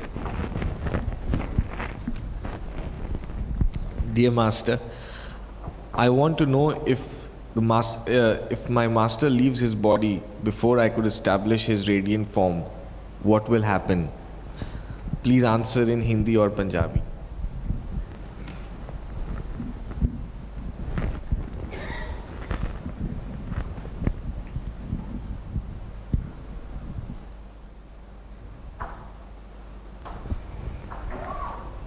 Question is in English. He's requested an answer in Punjabi or Hindi. So I think I should first translate the question into Punjabi and then answer it. ਇਹ ਸਵਾਲ ਪੁੱਛਿਆ ਕਿ ਜੇ ਸਾਡਾ ਸਤਿਗੁਰੂ ਆਪਣੇ ਸਰੀਰ ਨੂੰ ਛੱਡ ਜਾਵੇ ਔਰ ਉਹਦਾ ਨੂਰੀ ਸਰੂਪ ਅਜੇ ਸਾਡੇ ਅੰਦਰ ਨਹੀਂ ਆਇਆ ਤਾਂ ਫਿਰ ਕੀ ਹੋਏਗਾ ਇਹਨਾਂ ਸਵਾਲ ਹੈ ਕਈਆਂ ਨੇ ਪੁੱਛਿਆ ਸਵਾਲ ਕਿਉਂਕਿ ਮੇਰੇ ਸਤਗੁਰ ਨੇ ਮੈਨੂੰ ਕਿਹਾ ਸੀ ਕਿ ਜਿਹੜੀ ਸਭ ਤੋਂ ਜ਼ਰੂਰੀ ਗੱਲ ਹੈ, ਖਾਸ ਤੌਰ ਤੇ ਜੇ ਤੁਹਾਡਾ ਗੁਰੂ ਅੱਗੇ ਉਮਰ ਵਾਲਾ ਹੋਵੇ, ਸਿਆਣਾ ਹੋਵੇ, ਪਤਾ ਹੋਵੇ ਕਿ ਇਹਨੇ ਬਹੁਤੇ ਚਿਰ ਨਹੀਂ ਰਹਿਣਾ, ਰਹਤਾ, ਗੁਰੂ ਕਿਸੇ ਟਾਈਮ ਤੱਕ ਰਹਿ ਸਕਦਾ ਮੇਰੇ ਸਤਗੁਰ 90 ਸਾਲ ਦੀ ਉਮਰ ਤੱਕ ਰਹੇ। ਬਹੁਤੇ ਗੁਰੂ ਉਸ ਤੋਂ ਪਹਿਲਾਂ ਚਲੇ ਗਏ। ਤੇ ਜੇ ਉਹ ਗੁਰੂ ਸਾਨੂੰ ਕਹਿੰਦਾ ਹੈ ਕਿ ਦੇਖੋ, ਮੈਂ ਤਾਂ ਹੁਣ ਮੇਰੀ ਹੈਗੀ ਉਮਰ ਹੋ ਗਈ ਹੈ ਤੇ ਤੁਸੀਂ ਕੀ ਕਰਨਾ ਚਾਹੀਦਾ ਹੈ? ਤੇ ਗੁਰੂ ਕਹਿੰਦਾ ਜਿੰਨੀ ਜਲਦੀ ਹੋ ਸਕੇ ਤੁਸੀਂ ਐਨਾ ਭਜਨ ਕਰ ਲਓ ਕਿ ਤੁਹਾਡਾ ਨੂਰੀ ਸਰੂਪ ਅੰਦਰ ਆ ਜਾਏ।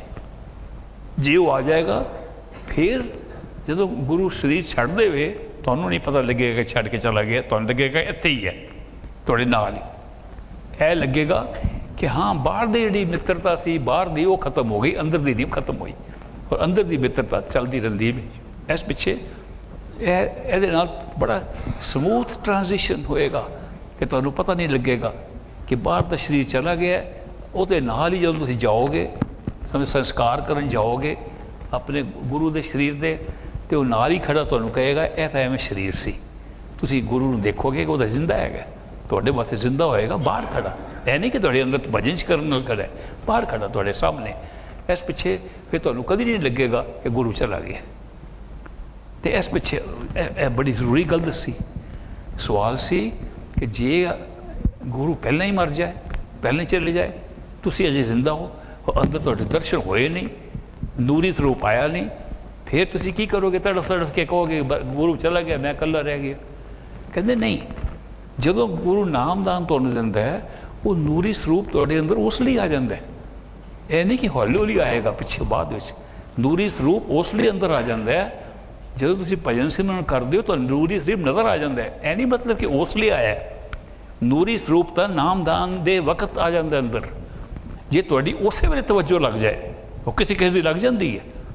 ਜੇ ਜਿੰਨੀ ਤੁਹਾਡੀ ਤਵੱਜੋ ਬਾਹਰ ਹੈ ਉਨਾ ਹੀ ਟਾਈਮ ਲੱਗਦਾ ਉਹਨੂੰ ਅੰਦਰ ਖਿੱਚਣ ਦਾ। ਪਰ ਜਿਹੜੇ ਜਿਹੜੇ ਆਦਮੀ ਨੇ ਬਹੁਤੀ ਤਵੱਜੋ ਨਹੀਂ ਲਗਾਈ, ਪਿੰਡ 'ਚ ਰਹਿੰਦਾ, ਆਪਣੇ ਇੱਕ ਘਰ 'ਚ ਹੀ ਰਹਿੰਦਾ ਕੁਝ ਕੰਮ ਹੀ ਨਹੀਂ ਕਰਦਾ, ਉਹ ਭਗਤੀ ਬੜੀ ਉਹਦੇ 'ਚ ਪਿਆਰ ਭਗਤੀ ਬੜੀ ਹੈ। ਨਾਮਦਾਨ ਮਿਲਦਾ ਉਹਨੂੰ ਉਸ ਲਈ ਪ੍ਰਤੱਖ ਹੋ ਜਾਂਦਾ ਗੁਰੂ। ਕਈ ਕੇਸ ਮੈਂ ਦੇਖੇ, ਆਪਣੇ ਗੁਰੂ ਨਾਲ ਦੇਖੇ। ਇਸ ਕਰਕੇ ਇਹ ਨਾ ਸਮਝੋ ਕਿ ਗੁਰੂ ਨੇ ਉਸ ਵੇਲੇ ਆਣਾ ਜੇ ਤੁਸੀਂ ਦੇਖੋਗੇ। ਗੁਰੂ ਤਾਂ ਤੁਹਾਡੇ ਅੰਦਰ ਨੂਰੀ ਸਰੂਪ ਉਸੇ ਵੇਲੇ ਪਾ ਦਿੰਦਾ ਜਦੋਂ ਨਾਮ ਦਿੰਦਾ ਤੁਸੀਂ ਹੌਲੀ ਹੌਲੀ ਕਰਕੇ ਜਦੋਂ ਤੁਹਾਡੀ ਤਵੱਜੋ ਅੰਦਰ ਜਾਂਦੀ ਹੈ, ਉਹਨੂੰ ਦੇਖਦੇ ਹੋ। ਔਰ ਜਦੋਂ ਦੇਖਦੇ ਵੀ ਹੋ, ਤੇ ਕਦੀ ਆਂਦਾ ਹੈ, ਕਦੀ ਜਾਂਦਾ ਹੈ। ਉਹ ਨਹੀਂ, ਗੁਰੂ ਨਹੀਂ ਆਂਦਾ ਜਾਂਦਾ, ਗੁਰੂ ਤਾਂ ਉੱਥੇ ਹੀ ਹੈ। ਤੁਹਾਡੀ ਤਵੱਜੋ ਨਹੀਂ ਅਜੇ ਉਹਦੇ ਉੱਤੇ ਪੂਰੀ ਤਰ੍ਹਾਂ ਕਾਇਮ ਹੋਈ ਇਸ ਕਰਕੇ ਤੁਸੀਂ ਜਿਸ ਲਈ ਆਪਣੀ ਤਵੱਜੋ ਪੂਰੀ ਕਰ ਲੋਗੇ ਉਹ ਆ ਜਾਏਗਾ। ਸੋ ਕੋਈ ਫਿਕਰ ਨਾ ਕਰੋ ਕਿ ਜੇ ਤੁਹਾਡੇ ਗੁਰੂ ਦੀ ਡੈਥ ਪਹਿਲਾਂ ਹੋ ਗਈ ਉਹ ਪਹਿਲਾਂ ਚਲਾ ਗਿਆ ਤੁਸੀਂ ਜ਼ਿਆਦਾ ਭਜਨ ਕਰੋ ਉਹਦੇ ਬਾਅਦ ਤਾਂ ਕਿ ਜਿੰਨੀ ਜਲਦੀ ਹੋ ਸਕੇ ਤੁਹਾਨੂੰ ਨੂਰੀ ਸਰੂਪ ਮਿਲ ਜਾਵੇ। ਸੋ ਫਿਕਰ ਦੀ ਕੋਈ ਗੱਲ ਨਹੀਂ ਨੂਰੀ ਸਰੂਪ ਆਲਰੇਡੀ ਹੈਗਾ ਉੱਥੇ। If a satsangi does Naam Simran regularly, but as he grows old and his memory fails him and cannot remember the Simran words, what to do in this case? Can he write the Simran words for him to read and uh, to read the Simran?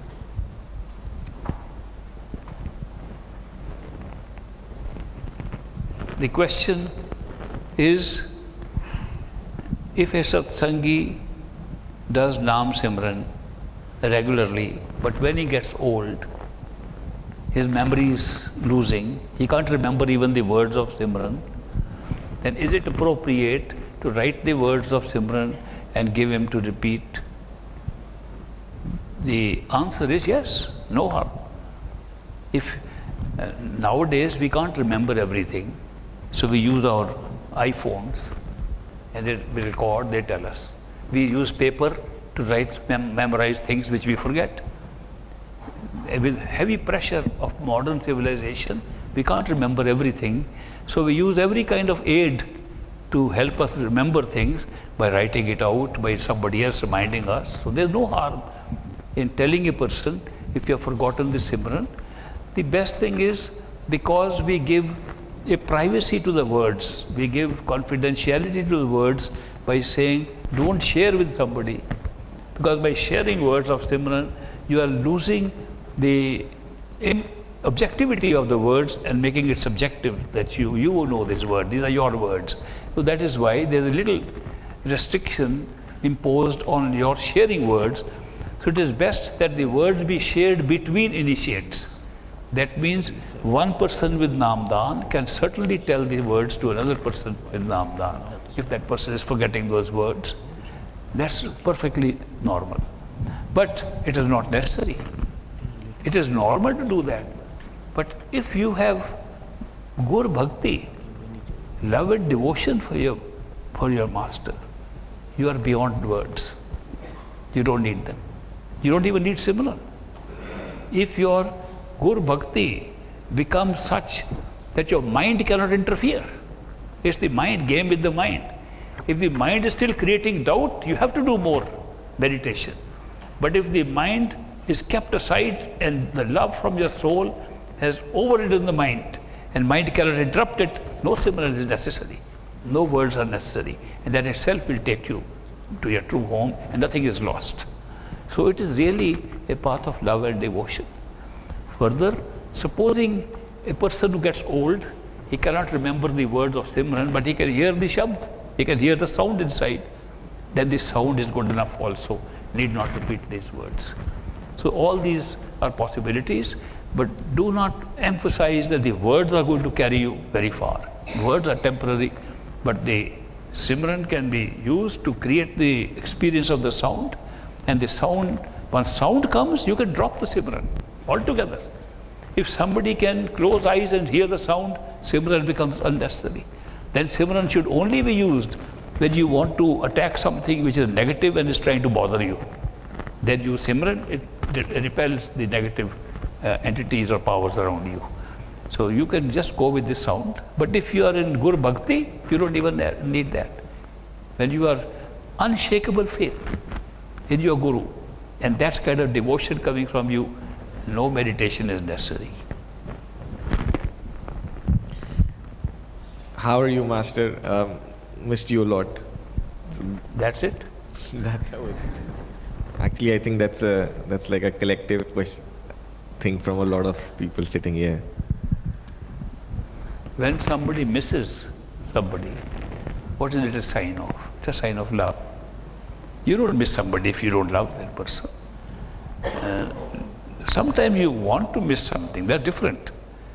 A man told me he misses his wife's cooking as much as he can. So you see, that's a different kind of missing. But missing is a sign of love, and when you miss, remember when Baba Jaimal Singh wanted to go and have darshan of his master Swamiji, he wrote a letter, I miss you so much. I want to see you as quickly as I can. That's what is happening to my heart. And Swamiji writes back, Your soul is going in higher regions. You can't miss so much if there's no internal growth and progress in your soul also. So you are making spiritual progress. When you miss your master, you're making spiritual progress. When you feel that kind of love, intense love, when you miss, you are making internal progress, though you may not be seeing it visually. Sometimes you see visual things inside, sometimes you experience it in these forms outside. So it's a, it's a very good thing. I congratulate the questioner about it. Thank you. It is mentioned in books that Kabir Sahib took his disciples to Sachkhand at the time of initiation using his power. Why not now? It is done. There are people who have gone directly to Sachkhand immediately at the time of initiation. They worked very hard in their past life and went to stage one. Even earlier, they went very hard to develop Guru Bhakti. And three lives earlier, they got initiated.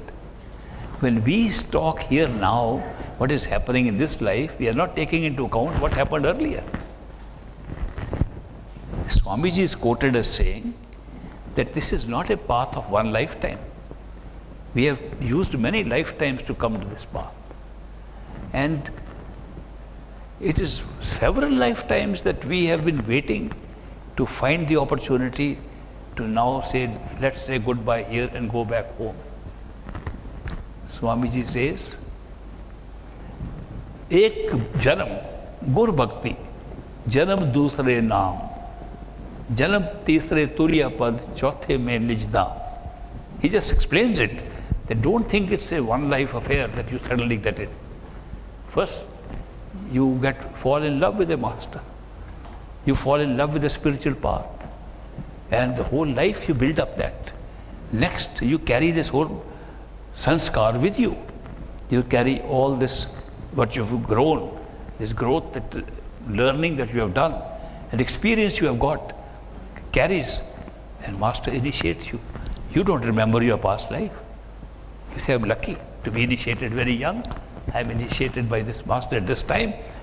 You think it's only one life. Then you work hard and you're able to reach some part. Say, you can reach Turiya Pad, you can reach astral causal stage, you can reach the top of the causal stage.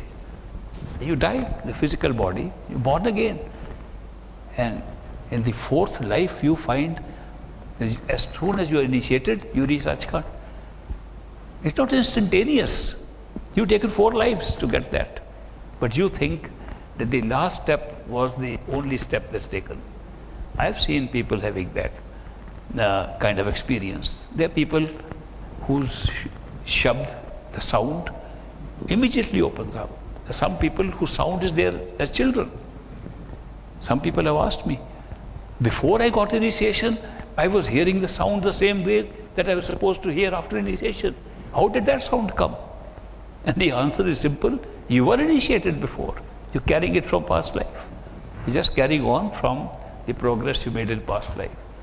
So that is why when a master takes you at that time, that's your last stage, that you have completed your course and you're just ready to go home.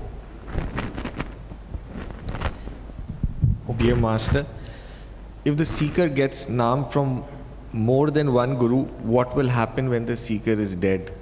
maybe many gurus will come and pick up the soul together. Thank you.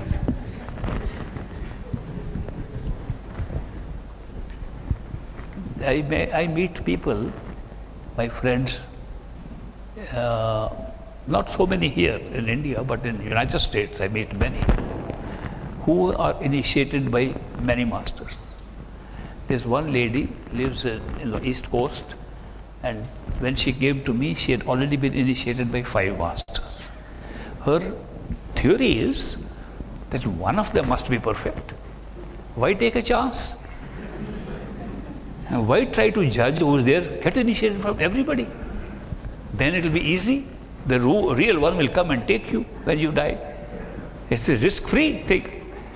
And trying to figure out which master to go, it's a risky business. So I used to call that friend of mine when she used to come to our meetings, the much initiated woman. Later on, I found there are many much initiated people also there. So I have seen many who have had initiation from many masters on that very basis. Now, one has to realize that if the change from master to master is a progressive change from having reached one stage and then you are needing to go to the next stage and you meet, you do meet different master. In fact, when you do some progress in one life and are reborn, you always meet another master. Very rarely you will meet the same master in the next life. So you see many masters anyway, and they are all perfect living masters. So naturally, who will take you back? A master initiates you today, and he is a physical form. You are in your physical form. Your idea of the master is that physical face that you have seen, and you've made some progress. You die, the master dies, you are reborn, you are initiated again by a master whose face is different, whose appearance is different. Who is your master? The one who first initiated you or the one who's initiating you in this life? So you can progressively have many masters. Then you can also have masters. At the same time, people have been able to see more than one master in meditation. And one person I met saw eight masters. Masters he had never seen in physical form. He had only seen few of them. And in the meditation, he saw many others. One of them saw having a round table conference and telling him something which was very essence of the whole thing. The essence was, who is a master? What is the real form of a master? The real form of a master is the sound current, is the Shabd. In the Bible it says, word made flesh. Here we say, Shabd Rupi Shabd Rupi, Guru. That means where the Shabd itself becomes a Guru. The external form, the physical form, is only temporary for that form. And the actual thing is the Shabd. If that is true, that means all perfect living masters are the same. They are not different. They are the same. No matter which one you have, no matter how many you have, the ultimate power that's pulling you is of the Shabd, which is one. Then which one will you see?